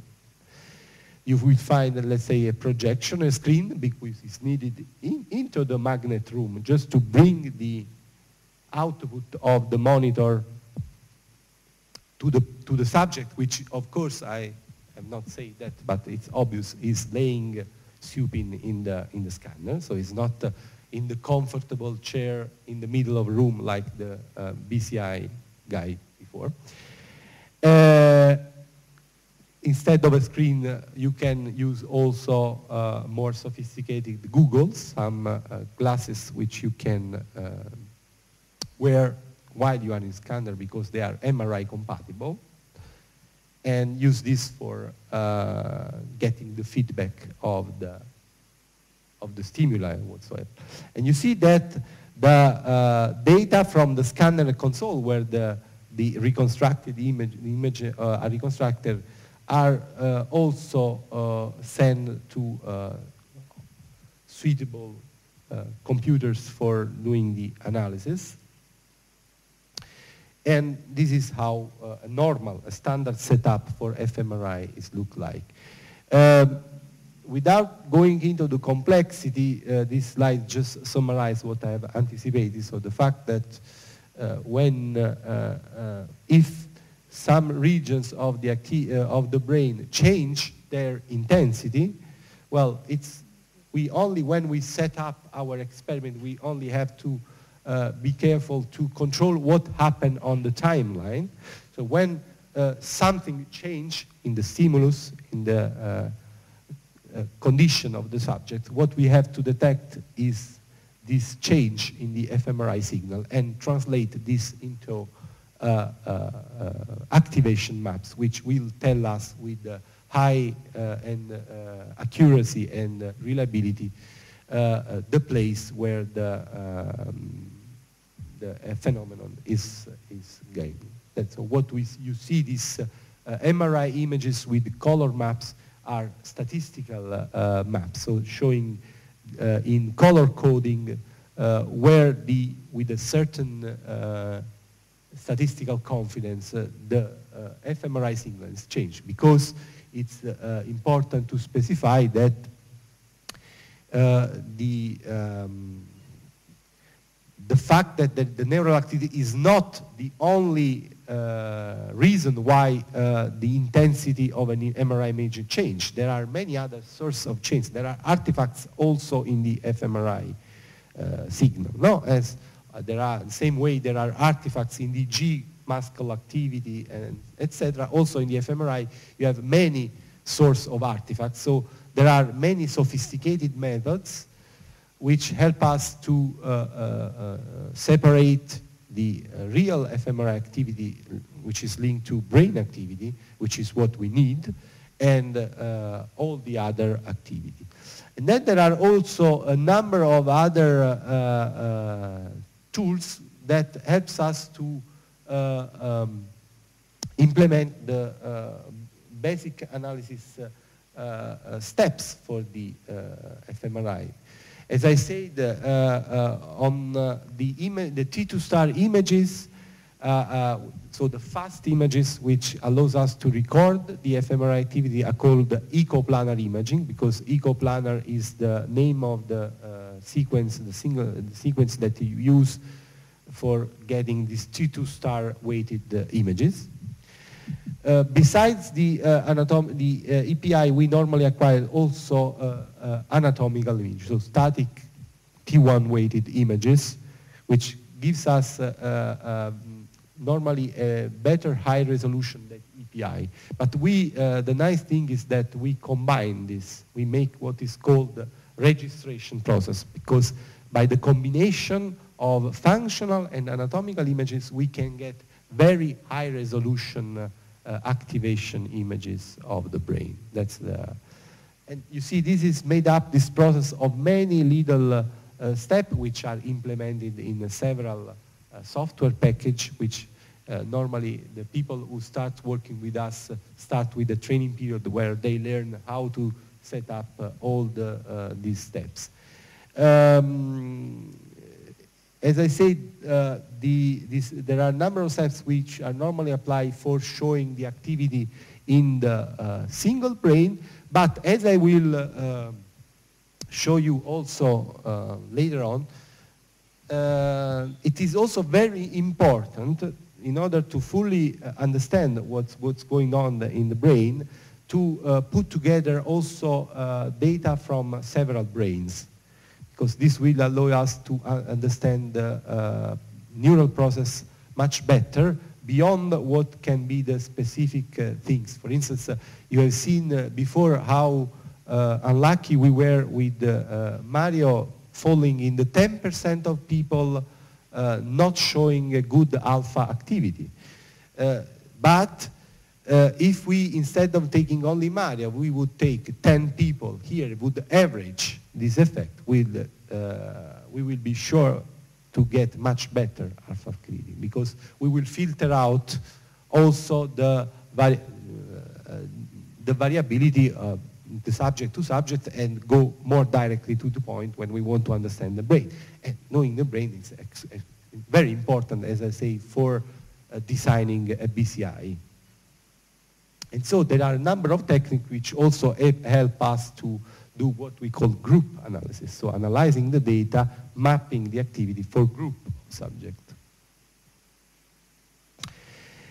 Uh, the fact that uh, the uh, fMRI response is not a direct uh, uh, reflection of uh, electrical activity is, um, represents a limitation, not, not only because the phenomenon there are other phenomena in between, between the neural source that we want to know where they are located and uh, uh, the signal that we want to use to control the, uh, the uh, interface. Uh, the problem is that uh, the phenomena that the metabolic and hemodynamic phenomena are, are also much slower physically speaking, neurophysically speaking, than uh, electrical phenomena. So with the electrical phenomena, we are in the range of few tens or hundreds of milliseconds. As you learned before, we uh, normally target uh, uh the P300. What does it mean? This means uh, that the response that is detected um, is uh, a peak of the uh, voltage at the electrode, 300, about 300 after the uh, stimulus arrives. So the target letter appears, we are thinking to that letter, and then after 300 we get the peak, 300 milliseconds. Uh, other people use even uh, faster events like the N1 uh, or they use uh, high frequency. You see the high frequency band. This you can do because you have a lot of temporal resolution. If you don't have a high temporal resolution in the order of uh, uh kilohertz or megahertz, even better, uh, you cannot look at the, uh, at the high frequency band for this. And this we don't have in fMRI, okay? Because in fMRI we have a very slow uh, uh, response. So if the stimuli occur at time zero, you see the, the peak of the activity, which amounts in, uh, at, at clinical scanners at 3 Tesla, so the, the normal scanner for clinical research, and not it's uh, around 5% of increase of the intensity. You see, comes between 4 and 6 seconds after the stimulus. So you can quickly imagine how big is this limitation for BCI. However, we can do some occasion, I can say BCI even faster than EEG in a very special, very specific uh, uh, situation. Uh, it depends on what we want to do with the BCI. The, the point is, uh, but this is uh, without any doubts a big limitation. Okay, we cannot look at signals in a, in a big frequency range because uh, uh, anyway, whatever change in the brain and we detect with fMRI will change over in this uh, time scale. So keep this in mind. This is very important. This is very important. So to summarize this thing, this is probably one of the oldest slides we have shown in our group, but it's always good to show for in uh, when uh, introduction. So uh, summarize how fMRI relates with respect to uh, uh, um, a direct uh, electrical measurement like we could get with EEG and other tomographic measure. As, as you can see, fMRI gives you a temporal resolution which is two order of magnitude worse than EEG. However, gives you uh, more than uh, three, I, we can say, oh, nowadays, if we think to um, functional MRI at 7 Tesla higher, uh, higher spatial resolution that we can get compared to, uh, uh, to EEG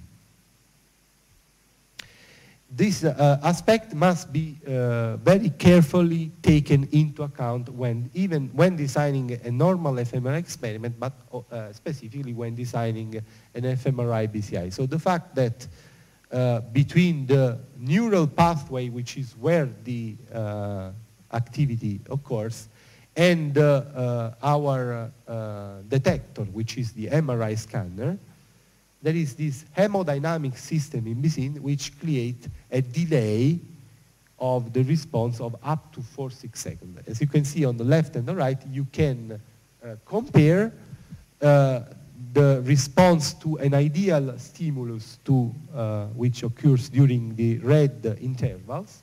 Uh, imagine that uh, on the left you see a stimulus which goes up during the red intervals on the timeline and you see the counterpart on the fMRI signal. So you see a signal which is uh, delayed, or, but it's also smooth, the temporal smooth in its form. You also see an undershoot too. This, this has been adequately modeled with a uh, so-called hemodynamic function, can via a linear convolution is very useful to model the fMRI activity. But of course we don't go into data. I want to only emphasize that uh, because I've said too many bad things. Now I want to say very good things, uh, which makes fMRI not, uh, uh a, a, really uh, uh, big amount of information about the brain. The fact that we can acquire with a single shot echoplanar imaging, we can cover the whole brain, and that means that we can sample the activity up to few millions of little piece of brain, of voxels of imaging, which is uh, three, four order of magnitude more of how the, the best grid that we can implant in a patient within an invasive BCI. So there is also the other way of thinking. Okay, time dynamics is not playing in favor of fMRI BCI. Let's work on space. If time is slow, is a slow aspect uh, of fMRI, let's see how can we counterbalance this loss of information in dynamics with a lot of information with spatial dynamics. And that's exactly what people do when designing fMRI uh, uh, uh, and DTI. Uh, here I would like to emphasize a bit more the uh, aspect, uh, the distinction between the two crucial moments of a BCI. This is true in general for, for all BCI there is always this training phase, which is sometimes called a learning or phase or encoding phase. They are more or less uh, uh, synonyms. Uh, it depends on the context. Uh, it's the crucial uh, stage where a machine, a computer program, learns how to uh, link the amount of information that we, we put from the fMRI patterns and the external world. Either they are stimuli or uh, realistic uh, uh, environment. Imagine in the virtual, uh, you saw some examples of combination of BCI with virtual reality. Then if you think to virtual reality, you can imagine to frame the virtual reality movies as a series of uh, uh, scenarios experience. So pro, suitable uh, algorithms, uh, intelligence, uh, artificial intelligence algorithms will make this job of linking the fMRI patterns to the data that we collect from the external world or from the signal. This means learning rules, learning, learning functions, learning uh, massively multivariate functions that uh, uh, um, with enough statistical confidence and minimal overfitting. I will not go into the details because this pertains to the uh, um, theory of the uh, artificial intelligence, which is a, a, part of signal processing, which deals how this learning is uh, performed. And then there is the, uh, the visible part of the BCI, where once that these rules, this function is calculated, uh, the, the, the, the, the job becomes very easy because it's only a matter to collect data and then uh, extract the pattern and from the pattern trans translating, transforming the pattern into actions, into prediction uh, and, and command. Uh, in this uh, part, there is, it's, very, it's very easy, it has been very well shown in the previous. We have seen very much the, let's say, the testing, the action part of the BCI, a bit less of how the training is really works because there are several aspects which uh, uh, make this training stage crucial in the project, especially for the uh, Concerning the second part, the second part is the part where, which must work in real time.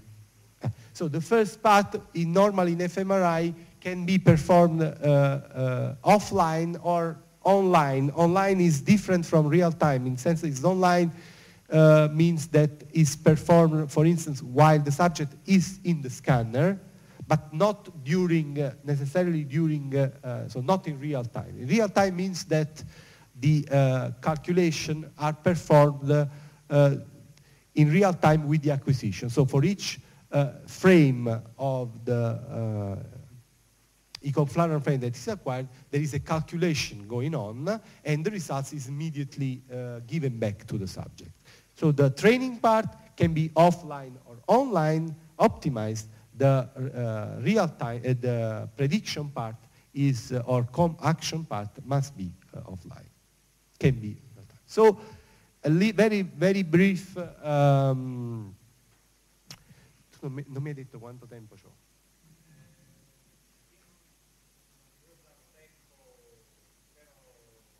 Quanto tempo ho?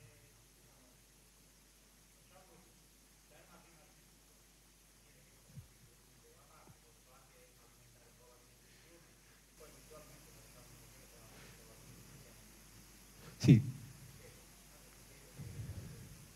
No, io volevo fare qualche esempio. No, io no, non ho molto, eh. io credo di avere non più di 10-15 minuti. Mm? Uh, quindi, uh, sorry, uh, so real-time fMRI, it's fMRI, but with some additional prerequisite which are quite obvious.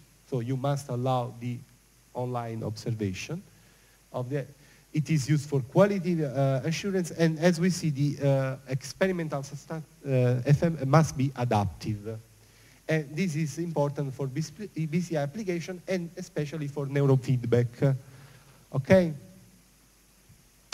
What is neurofeedback? It's, uh, neurofeedback must be now quite clear. So the idea is that uh, if we uh, can take the activity from the uh, subject in real time, can translate this into an information which can immediately deliver back to the subject. That's the uh, tool by which we can control our own activity. Since in fMRI we can be highly selective uh, for the region of interest, in neurofeedback with fMRI, what we do is to target a region and help the subject to self-control the activity from that region. And that's the crucial part of all BCI training uh, stages. Okay, I hope this is clear enough. See, this is how the setup is, is, uh, is modified. I will show now a number of uh, slides of application from a uh, PhD thesis uh, of a student in Maastricht Bettina Sorger, who has worked a lot on an fMRI uh, neurofeedback, and we are now sharing uh, the data I will show you in this presentation for further development. So you see how the setup has been modified. The uh, data from the scanner can go into a special software which must do a real-time data analysis. Uh, this must allow the user to select the regions. I want to select uh, hippocampus or visual cortex in the same way uh, uh, um, Gunther shows uh, I select the visual uh, uh, electrodes. No, but in that case, we browse through the brain exactly in that region. And the signal from that region is translated into a, um, an, an, easy to use, an easy to understand um, image. The, the, the simplest thing you can do, you can imagine a thermometer of the activity. So the user sees the thermometer of his activity in the, in the target region. That's how we close the loop of neurofeedback. Just to a very brief uh, window on the clinical application of neurofeedback. So I'm not talking of, of uh, uh, BCI. I will show later on uh, a BCI. But uh, the only fact that we use feedback, which we have already uh, seen is so important for the training of the BCI, for the performance of the BCI, the feedback alone, the neurofeedback, can be used to have some behavioral effect or some clinical effect. For instance, the, the typical neurofeedback protocol, you see there are periods where the subject is just resting, it's similar as before, and the period during which the subject's doing some usually imagery tasks, so imagine the movements or something like that.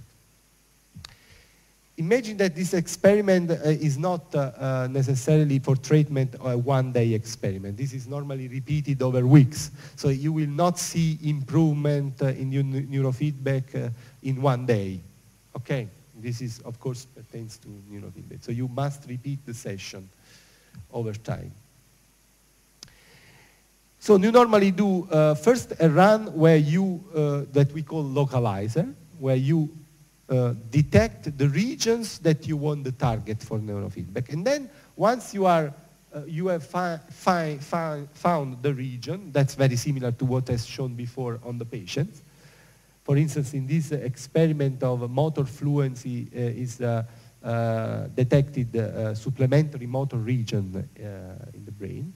And then there come the neurofeedback runs where the subjects alternating rest uh, with period of rest is asked to uh, control, to act, to imagine the task and control and get a feedback of the level of activity which is measured via this, uh, this loop. This has been done uh, uh, in, uh, um, in normal people, normal subject, and you see here just to be fast, I will not go into details because this will require a lot of explanation. But imagine that uh, uh, we have uh, compared the, um, the, the, quality of the task, of the movement task, which was a finger tapping task, so, uh, this, this kind of task. And we can count the number of taps in, uh, per minute, I think. The number of taps to see how good, how fast are you in doing this task. No? And uh, the, the comparison here is between patient uh, subjects who uh, perform this task after a session of uh, uh um, uh, neurofeedback and subjects who did not do neurofeedback, just do the, the task without doing the, uh, the neurofeedback of the activity in the SME. As you can see, there is, there is always a better uh, performance of the subjects doing uh, neurofeedback during the task with the, with the feedback compared to sub control subjects who do not do the feedback. And this, the gap between the group, the experimental group, is maximal after uh, a number of treatments. And this was done exactly because, thanks to fMRI, we had uh, targeted a number of regions uh, put, uh, and then optimized the region uh, for, uh, uh, for um, giving back the signal to the user. And this has been also done by another group uh, with using the regions uh, involved in emotion control. And specifically in uh, depressed patients. Patients suffering depression have normally a dysfunctional emotional network. So what they did, they used the same, exactly the same uh, protocol uh, as before um, and uh, compare uh, of course, uh, the regions were this time different because the regions uh, which were involved in the in emotional network like uh, anterior cingulate cortex, amygdala, ventral striatum, insula, a number of uh, network important for the uh, controlling the emotion.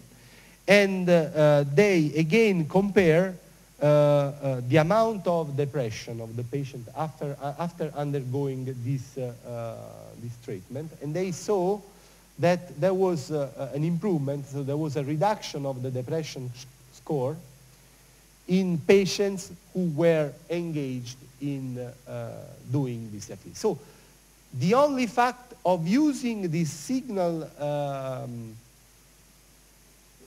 of brain activity as a feedback to the user, of course organized in, in a certain, with certain uh, precise schedule of time, so a certain number of sessions, has worked to improve either the quality of a, a motor task or the uh, uh, depression score of this patient. So this is something which uh, uh, has been uh, looked with a certain attention. And I want to conclude with uh, uh, an fMRI-based BCI. This is a true BCI, which, uh, I, although I didn't know, I, I selected uh, uh, this work always from Bettina Teti, Bettina Sorger Tesi, thesis, um, which is very similar to the, is a speller, so a BCI who uh, writes the letter that you think, but um, is so uh, in the design is very similar to the speller which I've shown with GI. It's only a bit uh, slower, but uh, is a, a very um, nice example of how you use spatiotemporal characteristics of hemodynamic response in fMRI uh, for uh, creating a BCI. So I think this is a very instructive example. So the first part, as I say, is uh, always uh, uh, a localizing part. So always a decision of how the, the, the task should be selected for the training phase, for uh, being sure that we can activate uh, a set of regions which is reproducible within and between different subjects. And for this, there were uh, used three, um, three tasks which included um, mental calculation, so the subject had to um, make some uh, mathematical calculation in, in his mind. So, uh, or inner speech. So the, the, subject has to think to uh, speak. Huh? So does not have, have to program, but has to think to speech. And uh, the other one uh, is uh, um, motor imagery, so the same that have been used in the example, so thinking to, to move. So all the uh, standard fMRI uh, analysis uh, have been performed. So there, there's, there have, there's been a, uh, a, group analysis performed to understand what are the regions uh, that activate in the different tasks, and also a report uh, of all the Talairach coordinates, so the coordinate, the standard coordinates in the brain where all the activity occurs in all subjects. This is very important to optimize the region in each subject, and this is normally done offline in a period, in a pilot uh, uh, period uh, of the uh, experimental design. And then comes the uh, encoding scheme, which is what will determine the real training uh, part of the BCI. And as you will see, it's very similar to the spelling guide. The only difference is that here we, it is used uh, the, these, three mental, the, these three mental tasks, a combination of mental task and of uh, timing of the hemodynamic response. What, what I mean the timing? So uh, you can see uh, there are three different, there can be, uh, there are three different tasks, so mental imagery, mental calculation, and mental inner speech. And then there are three possibilities for the onset delay, so how, when the uh, response starts uh, compared to the moment the subject wants to uh, communicate the letter. And another, another important parameter is the duration of the um, the duration of the, um, of the thought. So if I do, for instance, mental calculation, uh, uh, I can decide to make mental calculation for 10 seconds or 20 seconds or 30 seconds, okay? So by combining all uh, these, these features in this way, uh, which re will result in different shape of the hemodynamic response, so which lasts short, intermediate, or long response, or uh, uh, very uh, early, uh, intermediate latency, and late. By combining all these features, I can um, guess which letter is thought by the subject.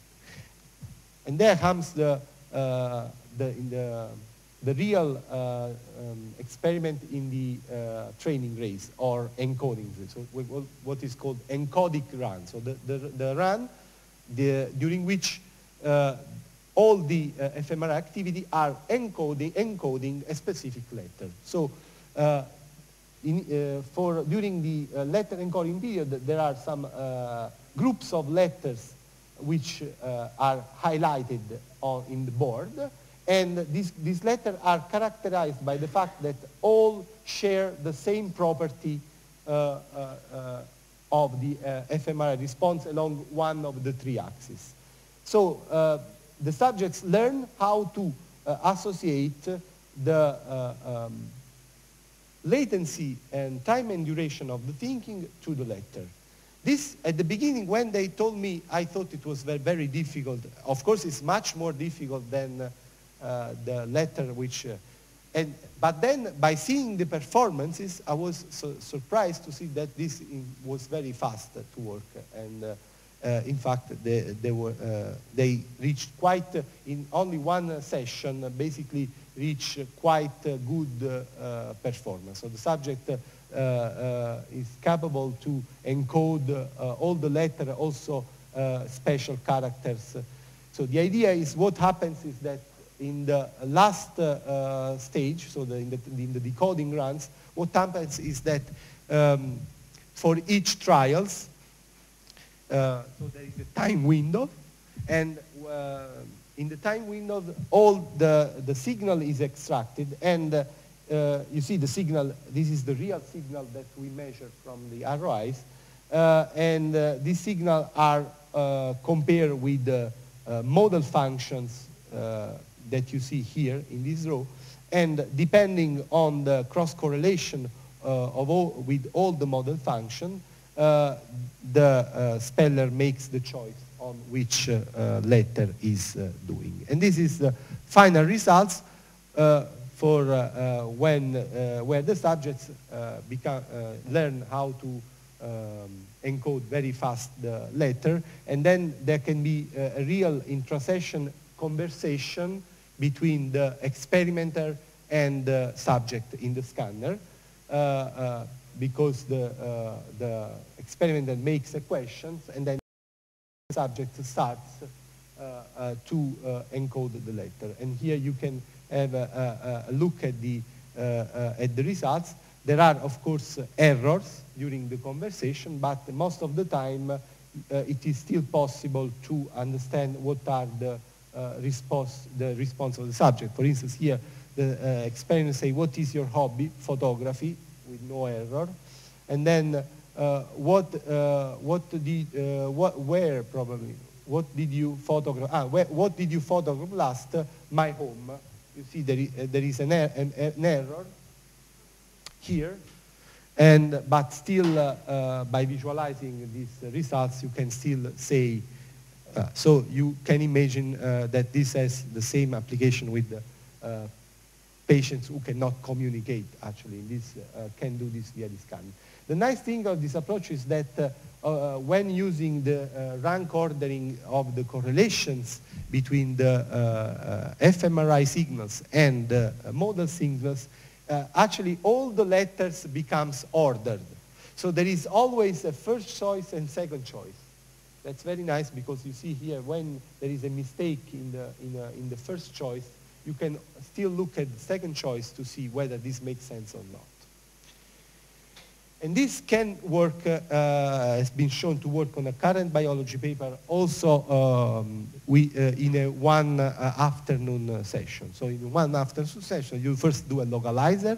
The localizer, the subjects uh, is uh, just the, do the task, so inner speech, mental calculation, and, and um, motor imagery. and then we we use this localizing task for mapping the brain region. Then you choose the brain regions, uh, go to the second stage, there is the encoding, uh, letter encoding task, where the subjects uh, uh learn how to uh, uh, um, control the timing of his thought with the letter. And then there is the, from that moment on, the communication can work on a single trial level the, where the time window is the, is the order on the 40, 60 seconds. So the time you need to measure uh, a, complete, uh, a complete response to that, uh, which will be now entered in the, so um, this is just one example which comes from. Of course, this uh, requires a lot of improvements which pertain both at the localizer stage, how to best select multiple regions. One, one very good advantage, which was mentioned also in the video, is that here we really have a number of degrees of freedom, very high, because we can decide whether using one region or multiple regions together, uh, and this makes a difference in how good the performance will be of the speller. And also, uh, um, um, show that despite the um, limited uh, temporal uh, resolution of fMRI, still we can uh, quite precisely control uh, the, uh, the timing of this uh, response. Okay? This is a, if you have questions.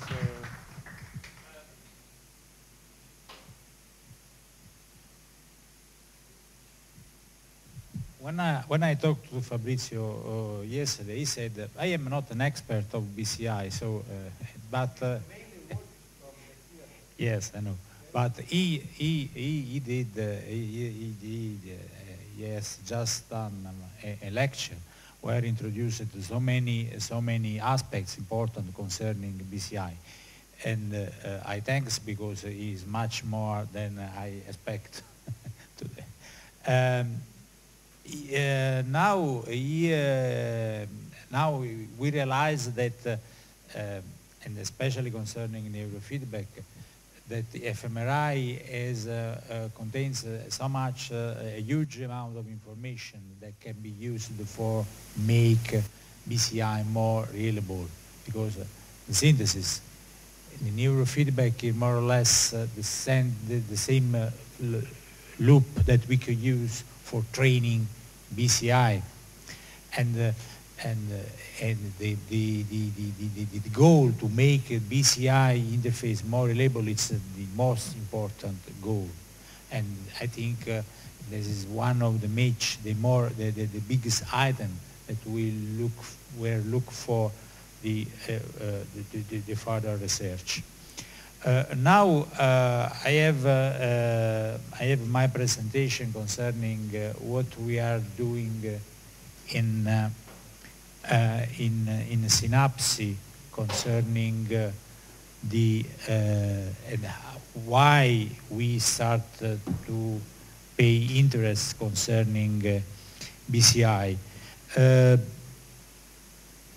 but I will not take so much time because more or less some of the things we are discussing, we are, uh, we are discussing about uh, is more or less already outlined by the presentation of, uh, of, of Guger and also by Fabrizio.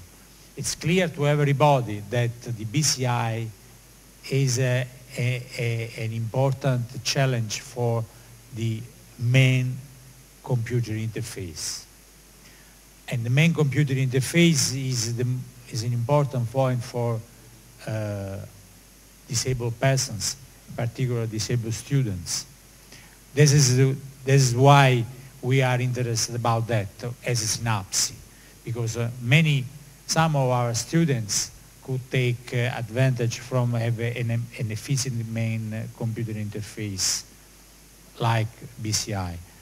Of course, uh, university students are not so many in this situation because, uh, not because, uh, because uh, of course, uh, several disabled persons, it's difficult that try to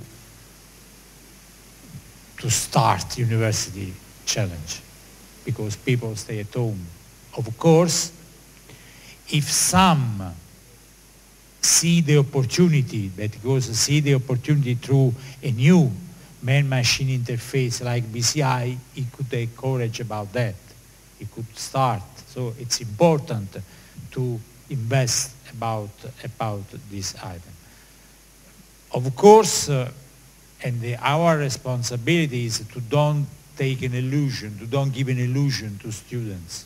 So if uh, I promise to a student to stay at home that is a ever disabled, that he can study by using BCI interface, is, is must be reliable about that. He don't spend his whole day, I see, time consuming.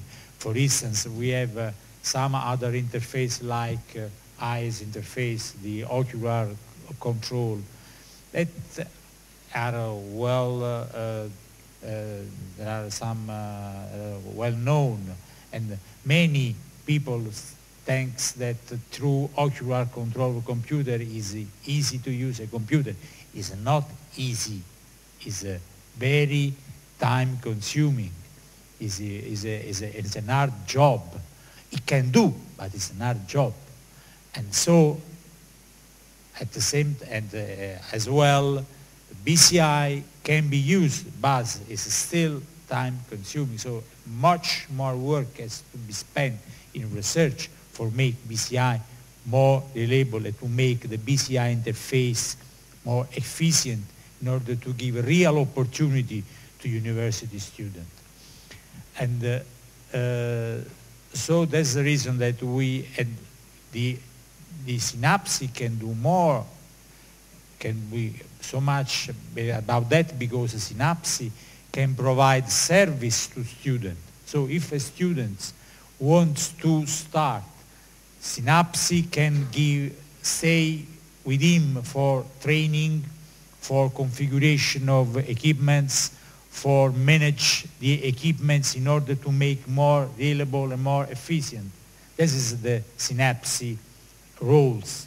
And uh, that's the reason because we start to look, but in a very pragmatic way, to look to, and we bought some of BCI equipments in order to use with our students. The first step that, uh, and the first step because we are not uh, as a SInAPSi interested in studying in research, but in really use with disabled students. And the first step is how to arrange the use of BCI in order to make it, use, to make it usable to students. And, uh, uh, and we did, did a couple of uh, dissertation theses concerning the configuration of BCI for using it to try to how to arrange it for make it practical usable okay just to say, per essere più chiaro in italiano, il nostro sforzo è stato quello di capire come usare le BCI per renderle praticamente usabili al di là di quelli che sono diciamo, gli aspetti tra virgolette di possibilità di pubblicità o di esercizio, deve essere un esercizio, così real practical use must be uh, sustainable must be really manageable. That's not just to an, a, practical exercise because it's daily to use and the people invest to the possibility to study and to use BCI. So uh, a couple of students, is, uh, Dario Pappalardo e uno di voi venga, hanno did some practice about uh, BCI and uh, they make their dissertation thesis. I invite him to explain how they use BCI, which was, was the problems that they meet in the real practical use, just for understanding probably some mistake that we did in use it, probably for just for give to Guger the, uh, the, the, the overlook which was our experience about the practical use of BCI in order to use, make more fruitful the, the afternoon session in order to better understanding how to, to, to use this device. Okay? Uh, shall I computer?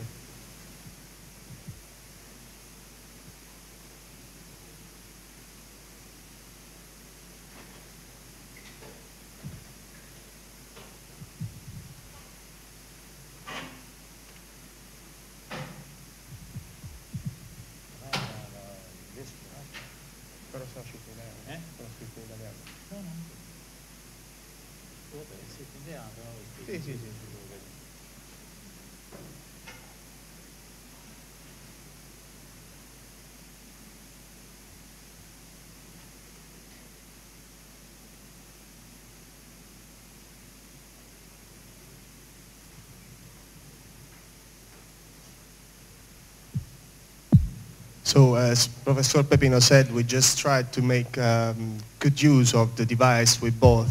And in the moment we decide, in the moment we decide to bought the device, we just we just made a decision based on some study that was made before. That was about um, commercializable devices um, in price range that was between $200 and $1,000. And um, in the study, they classified the devices on the base of some points that were, that were about uh, the number of channels and uh, about the usability and about um, some other aspect uh, in a range that was from 1 to 13. And we decided to buy the, the EPOC uh, produced by Emotiv just because it was the, um, uh, the first one in the, in, the, in the chart. So we, as, as Professor Pepino said, we just take this device and we didn't analyze, we, we used it like a black box, we just didn't analyze all the signals and all the rest. We were trying to use it straight as the, um, as it, it came from the, as it came from the Emotiv that produced it. So we take the software de- development kit and it comes with this control panel that show a cube in a 3D and user was able to move it. Um, originally it can be spinned around in both senses and it can go farther and back to the user and right, left and up and down. We just decided to use this software as it came from the, from the producer. Um, to use this software, you just look at the signal that it shows. Maybe it's um, usually it was an arrow in a side, right side, left side, up or down. And the task for the user was just to mental imagine tasks that you gotta do. Um, we used eight subjects, seven of, them, seven of them uh, we just explained them how to imagine the movement. For the right hand, they got to just uh, grasp their hand just like they were um, taking a tennis ball in their hand.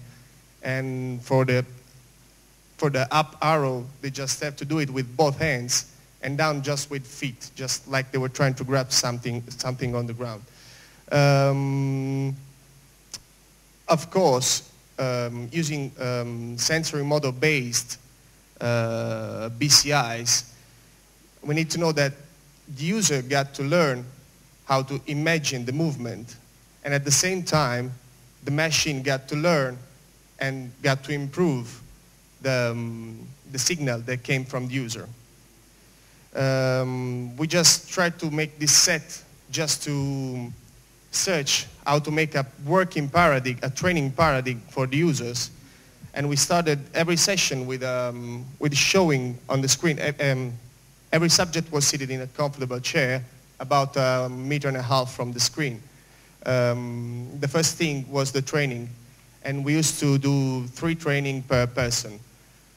So the first thing, the users um, just see a, an arrow on the screen and get to think about the right side, the left side, imagine what, what, we, what, we, told, what we told them. Um, just for 10 seconds. During these 10 seconds, uh, we decided not to show any feedback to the users because there was uh, a study of Professor Guger just about three, uh, 2003, I think, that from one side, the feedback, it's a good thing for the user just because you can imagine what he's going to do. So you can improve his, his, his motor imagery. On the other hand, sometimes it gets frustrating because if you stare at the, at the cube and it doesn't move, it just gets a little bit annoying. So we decided not to show the feedback to seven subjects. We showed feedback just to one. Um, during the training, there was an operator that was behind the computer, and he was starting the registration from the control panel. That was what we asked um, the subject to imagine. So right hand movement, uh, left hand movement, right hand movement, both hands and both feet. Um, the run was about 20 minutes of duration. We just have the training for every movement with three repetitions, and it took about 50 seconds. So between one and the other, we just wait about 10 seconds just to, make, to, to take some rest. And then we made three trials. Uh, there was 10 repetitions with uh, random, random arrows, right and left, up and down, and all four direction.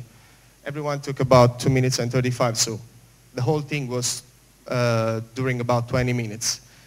Um, during these 20 minutes, there was an operator that was um, that got to just take note of what was happening to the tube because the user didn't have the feedback.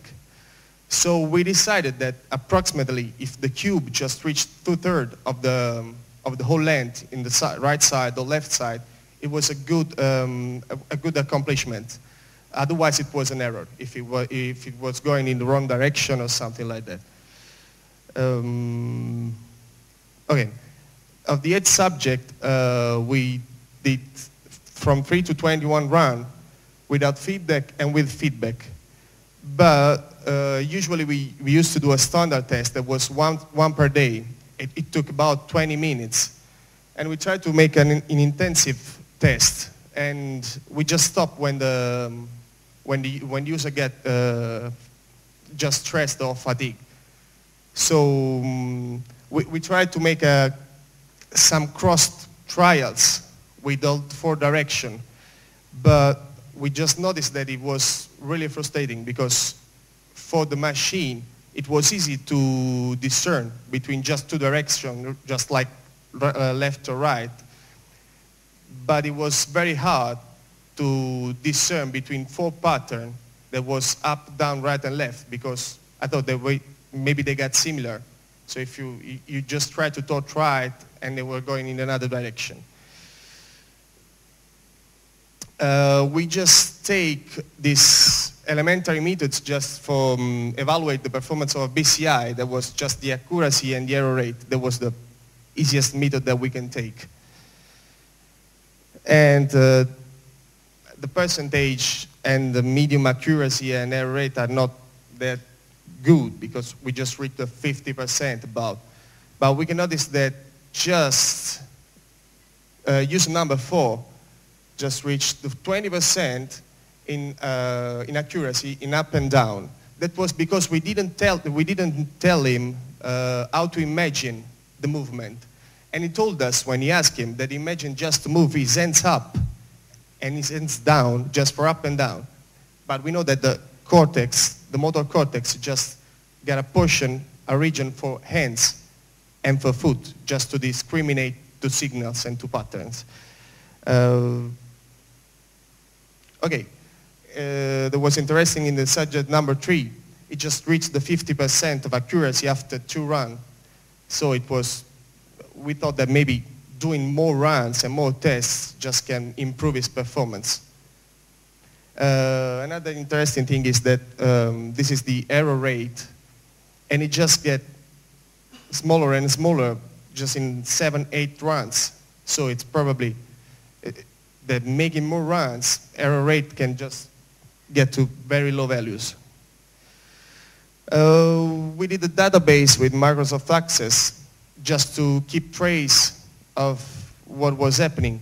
And when we did it, we just wanted to make something that was uh, something like multi-purpose database. So if there's someone else that is working on the same things or doing some other tests with some other subject, he can join the same database just to share with everybody this, the results so everybody can take trace of what's happening in another study or something like that.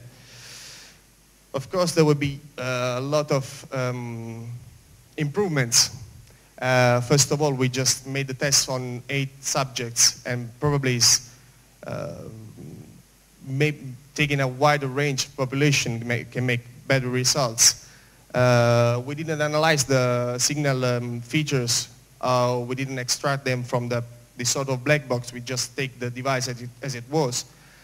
So it would be great just to can uh, analyze the signals and its characteristics just to extract the features that most interest us. And we can develop the database. And it would be a dream just to have a database that everybody can share. So the results of everybody can be seen from other studies and other university or something like that. And to just uh, improve the SDK just to make a automatic environment so that the user that may have to make the training doesn't need anybody around him and he can do it on his own. That's it.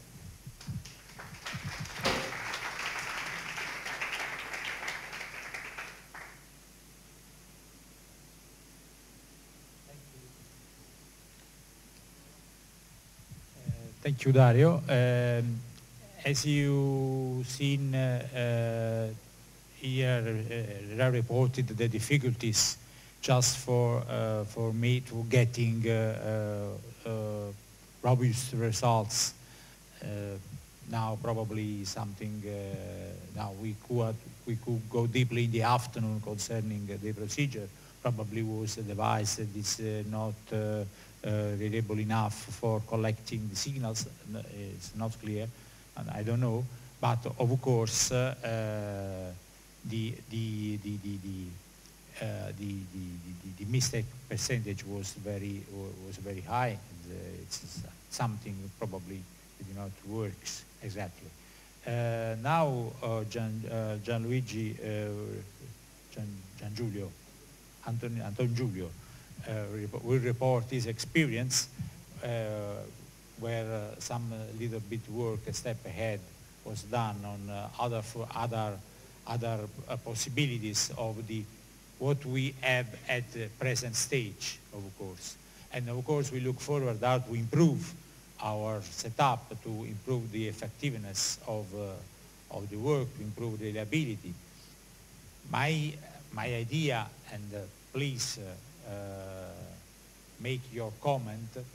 My idea that, uh, uh, of course, we should have the possibility to go to go deeply in the equipment just in order to collect it, to, uh, to better uh, have the, uh, the check of the, of, of, the equipment setup in order to, to be confident about the, what we are picking, we are collecting, because what this was one of the, of the difficulties that we had a few months ago.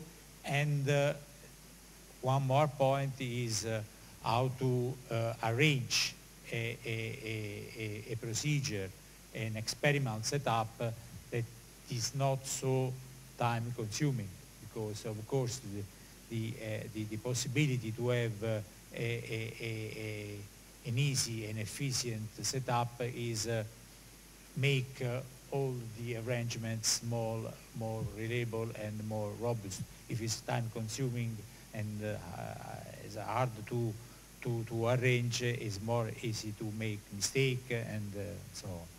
So Anton Giulio now will uh, very quickly will report his experience. After that, please uh, start to make comment, uh, to make uh, ask questions to uh, Chris, to Fabrizio, and so on. Even Chris, please, if you have some question to, to make to us, no problem, before, just before lunch, and after that the lunch will, uh, will wait us.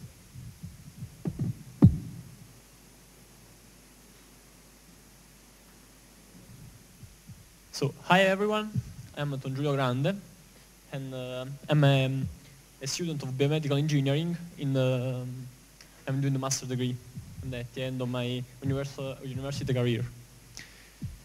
Um, my thesis uh, work of the um, of the bachelor of degree, so at the end of my three um, three years, was on the a BCI based on um, a P300 uh, speller and uh, a test environment on BCI 2000. And uh, now I'm going to explain what is this. Um, so, the test environment is um, an Emotiv EPOC. Uh, that is the, the same uh, device that uh, Dario explained before. So, a, um, set with 16 uh, electrodes and two reference.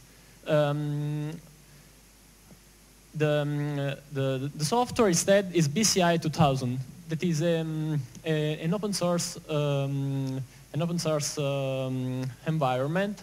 And uh, if uh, uh, someone is interested uh, he could uh, download it on bci2000.org um, it's very one of the tasks of the BCI 2000 team is to create um, a sort of um, community of uh, BCI of BCI users.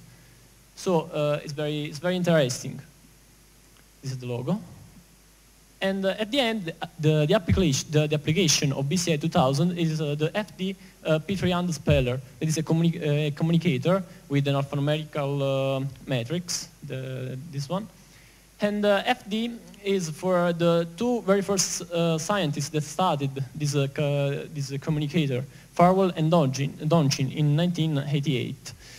P300 is a wave that we already seen before is um, a wave that uh, is elicited uh, after uh, three or, or 400 um, milliseconds uh, that we have the, the stimulus. it, it is also called um, a, a, cognitive spy because um, every time that we see a um, uh, every time that we see a stimulus, then we have um, a, a, signal like that. Uh, it, uh, it is very important to as a signal um, um, a common signal or BCI have a, feature like this.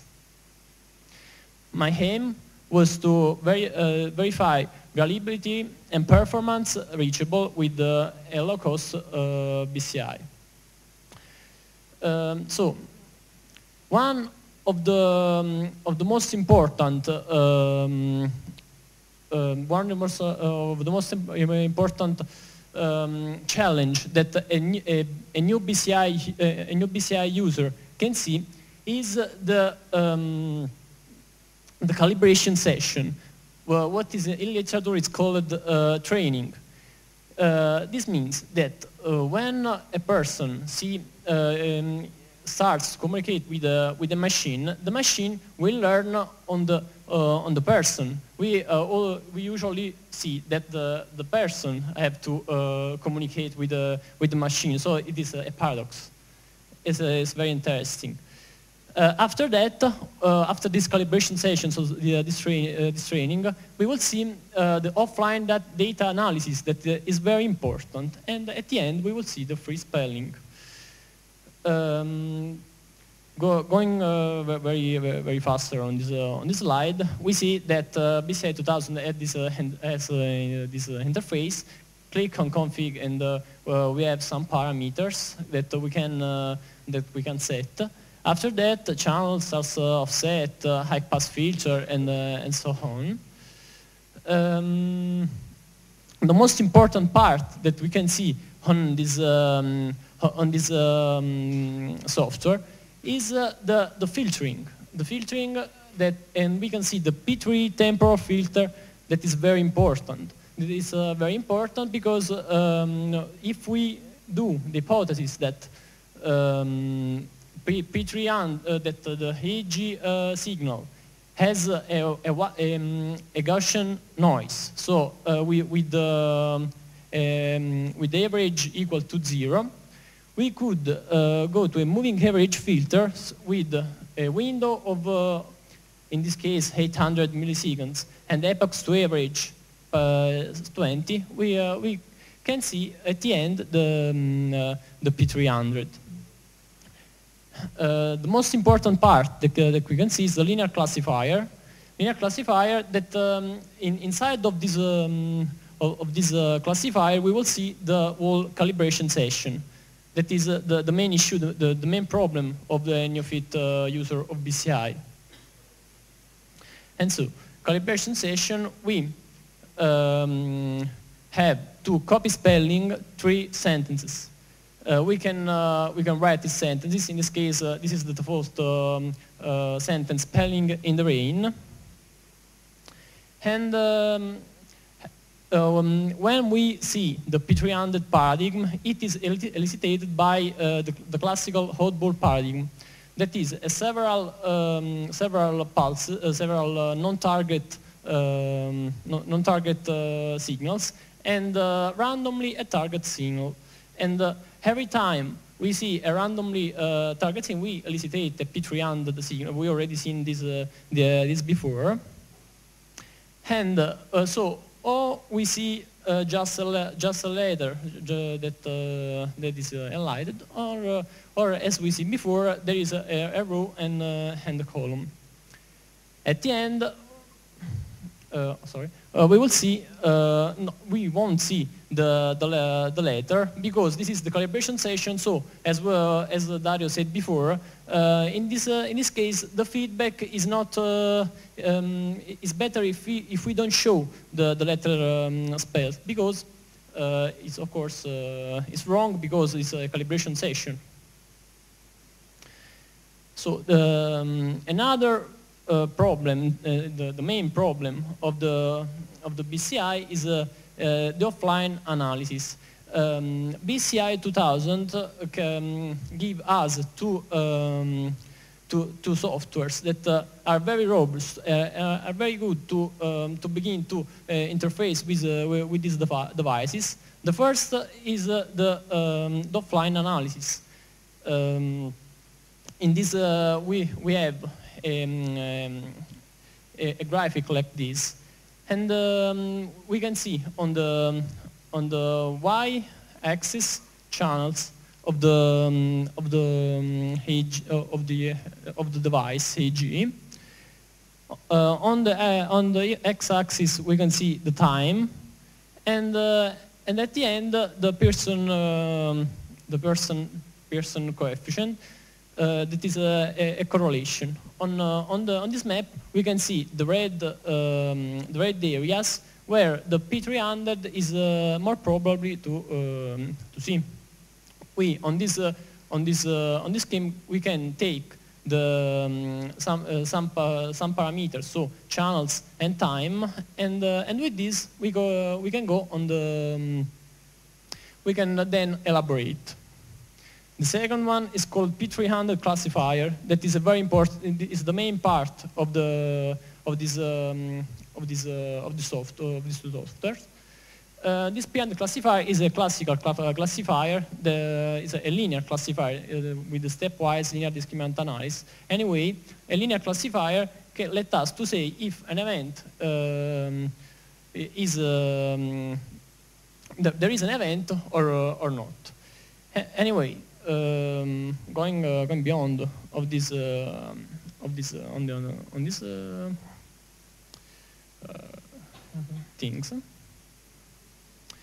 we can at the end do um, a free spelling session. That is the end. This was our our goal. Our goal, and and then we can use this um, this this, um, this this this device. for my personal uh, my personal experience, my, my first word was spelled was Novecento, and Novecento, every, every, every letter, so N, O, and so on, was highlighted uh, 60 times. So it's, it's very, it's, a, it's very, very, very, very, very slow. Um, but when uh, I got how, how it works, uh, I could um, every word for, for times. And, uh, and so the results was four letters per minute and uh, a precision of, of the, uh, the accuracy of uh, 82%. In uh, literature, we can see 7.8 with 100% of, uh, of spelling rate. And talking before with, uh, with Professor uh, De Luca, he said to me that uh, uh, they actually have done um, a, Eh, an eh, accuracy of uh, 100% in, uh, in five minutes. My work uh, was on, on two months. And I have to say that in the beginning, I was driving in the dark because uh, I, really, I really didn't know how BCI works. And uh, uh, it was very frustrating to, because I, I, I haven't my, my, my results. And uh, just with, uh, with the help of my, uh, my tutor, General Siciliano, and then Dario Pappalardo, we, we at the end saw that stressing parameters and so going to 6C enlightenment that is very, very slow, we, we saw that uh, effectively this, uh, the, uh, this device uh, can work. Uh, obviously, uh, we, we, were, we were wrong something.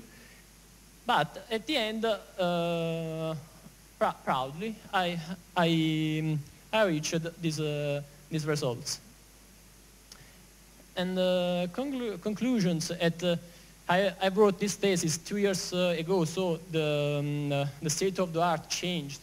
this is um, this is a, a, a, surfing a surfing net uh, software, and uh, I know that actually is very is very um, is very tested. Uh, anyway, oh, thanks for the attention.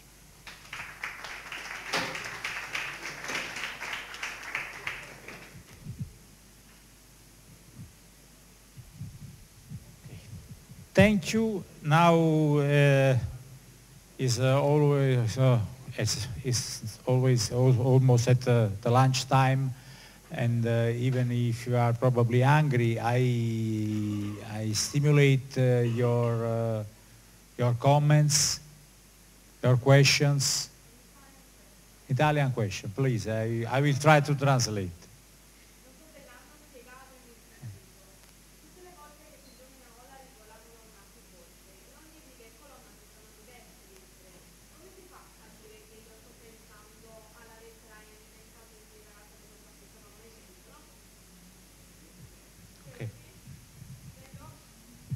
Questo è un paradigma standard che viene adottato, l'odd ball paradigm di cui, di cui hanno parlato anche prima.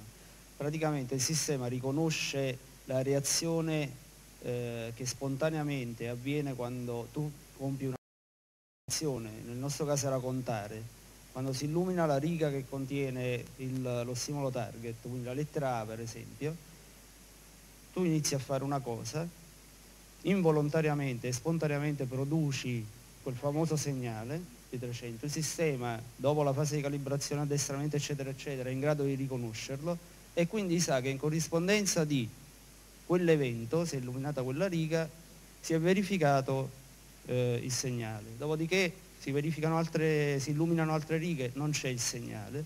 Dopodiché si illumina una colonna in cui ci sta la lettera che ti interessa, c'è il segnale.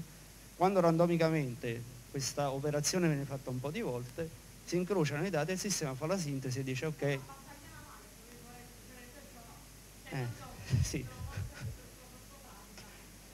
Diciamo una battaglia navale con predizione, va. Vabbè. Comunque ok, è chiaro. More questions? Okay, just for concluding, there are some uh, point of attention. The first is the training. The system must be trained. The training of the system is one focal point because training is efficient, it's not time consuming, and it's efficient, the system works, works better. If the training is not effective, it's time consuming and so on, the system doesn't work, it's not reliable. So one point is how to train in few time and the best way. One more focal point is uh, possible application of BCI. Of course, the main application is brain computer interface, but how? With feedback or without feedback? There is one point that has to be outlined in the afternoon. The tray and the BCI can be used as rehabilitation support in a, for, for instance, is a neurofeedback and uh, back to the training. The training can be done by support of fMRI or not. So there are different directions for trying to use the BCI as a supporting of rehabilitation or as a support to the, as a assistive device. In the case of use as assistive device, how and uh, how to make uh, more reliable the training, which are the possible solution for training in a few time and in a best way. This is a number of questions that we hope to have some uh, feedback in the afternoon, more practical, practical approach. Okay? Chris, have you questions? Some question? No? Okay.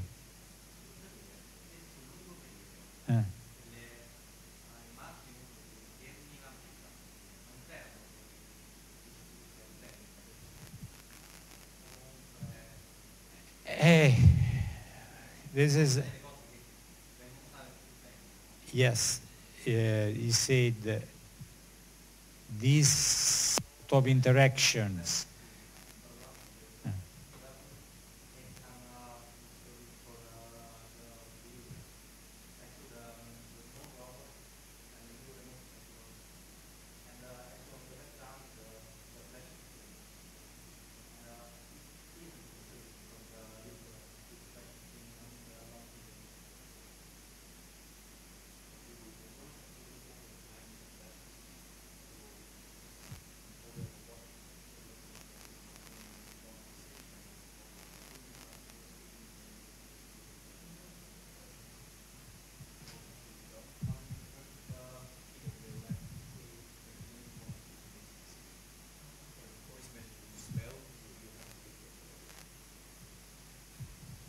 So, if you want to spell, you have to look on the screen, of course, but if you steer a robot, you don't make so many decisions for a long time. You make one decision and then you can rest again.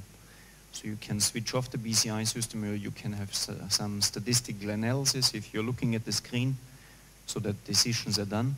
And if you're not looking at the screen, then no decision is made.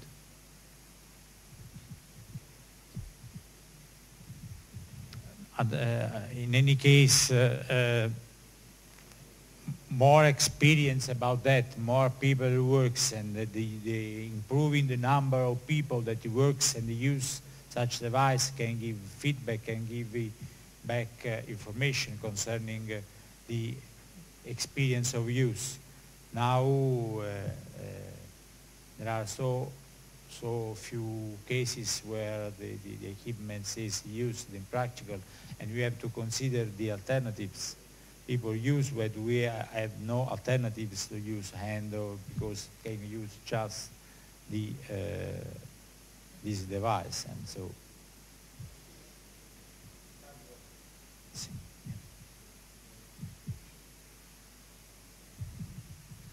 concerning the spelling device um, for instance for the letter uh, for the letter production.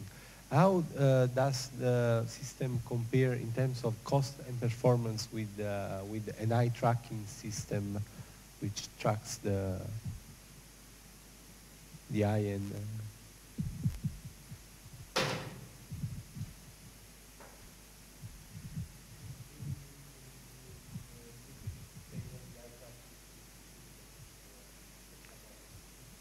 So, so the eye tracking system is using mostly a camera that's fixed under the screen and it has two cameras tracking X and Y positions of the eyes.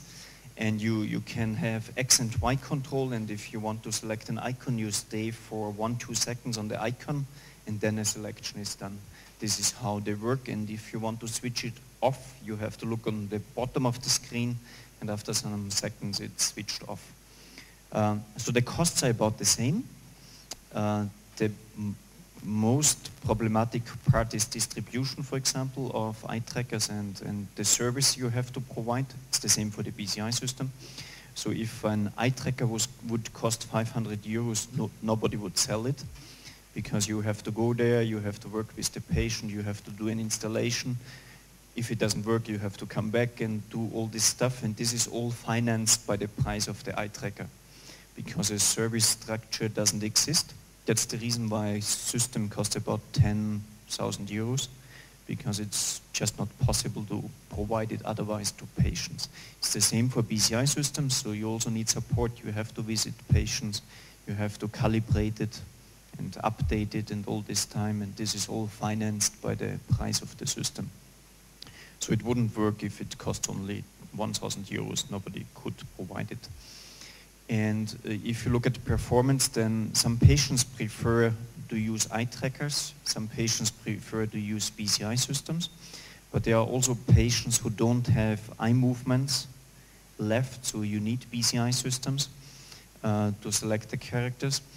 And if patients don't have eye gaze at all, then there is a, a, simple trick that you can do.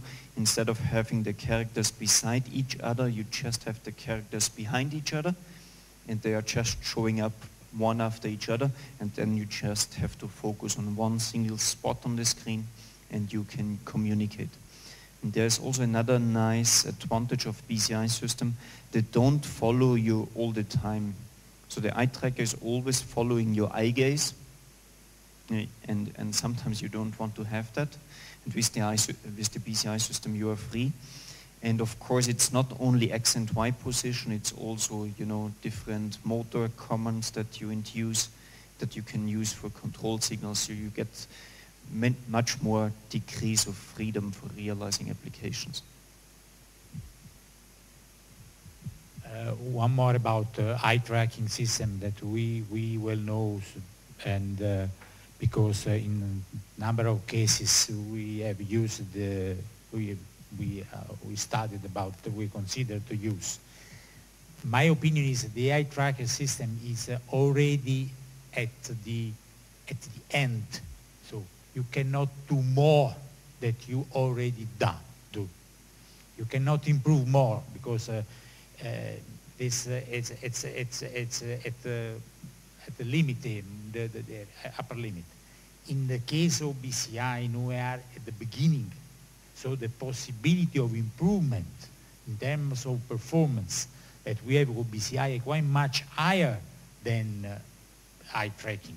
So EI can invest in eye tracking system. I invest in terms of know-how, in service, uh, people that use that is an investment that is uh, lost because uh, you cannot improve the performance if you invest in BCI, you can have advantage because you can improve the performance and you, it's in, in, in terms of knowledge and experience is much more effective rather than eye tracking.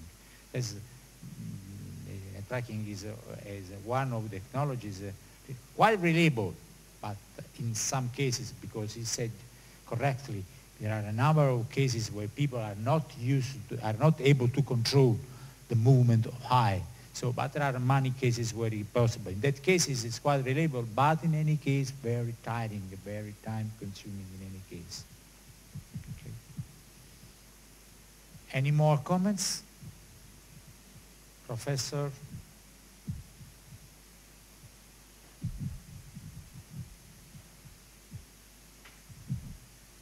Hi. Um, in the videos that uh, you have shown uh, before, um, the, there wasn't uh, two, two these BCIs, right? Or uh, two-dimensional BCIs with uh, two, two signal in, uh, in the command. Um, is it? Uh, I heard. Hmm? Um, in the videos that we have seen before, so in the in the experimentation, we've seen um, BCI, uh, 1D BCIs, or I'm wrong. Uh, I mean, 2D, two-dimensional BCIs. Uh,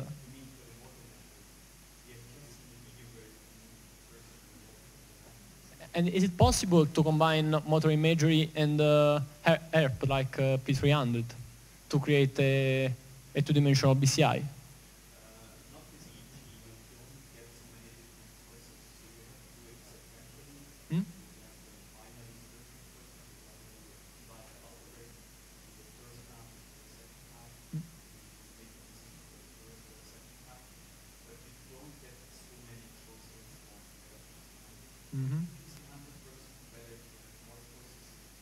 Yes.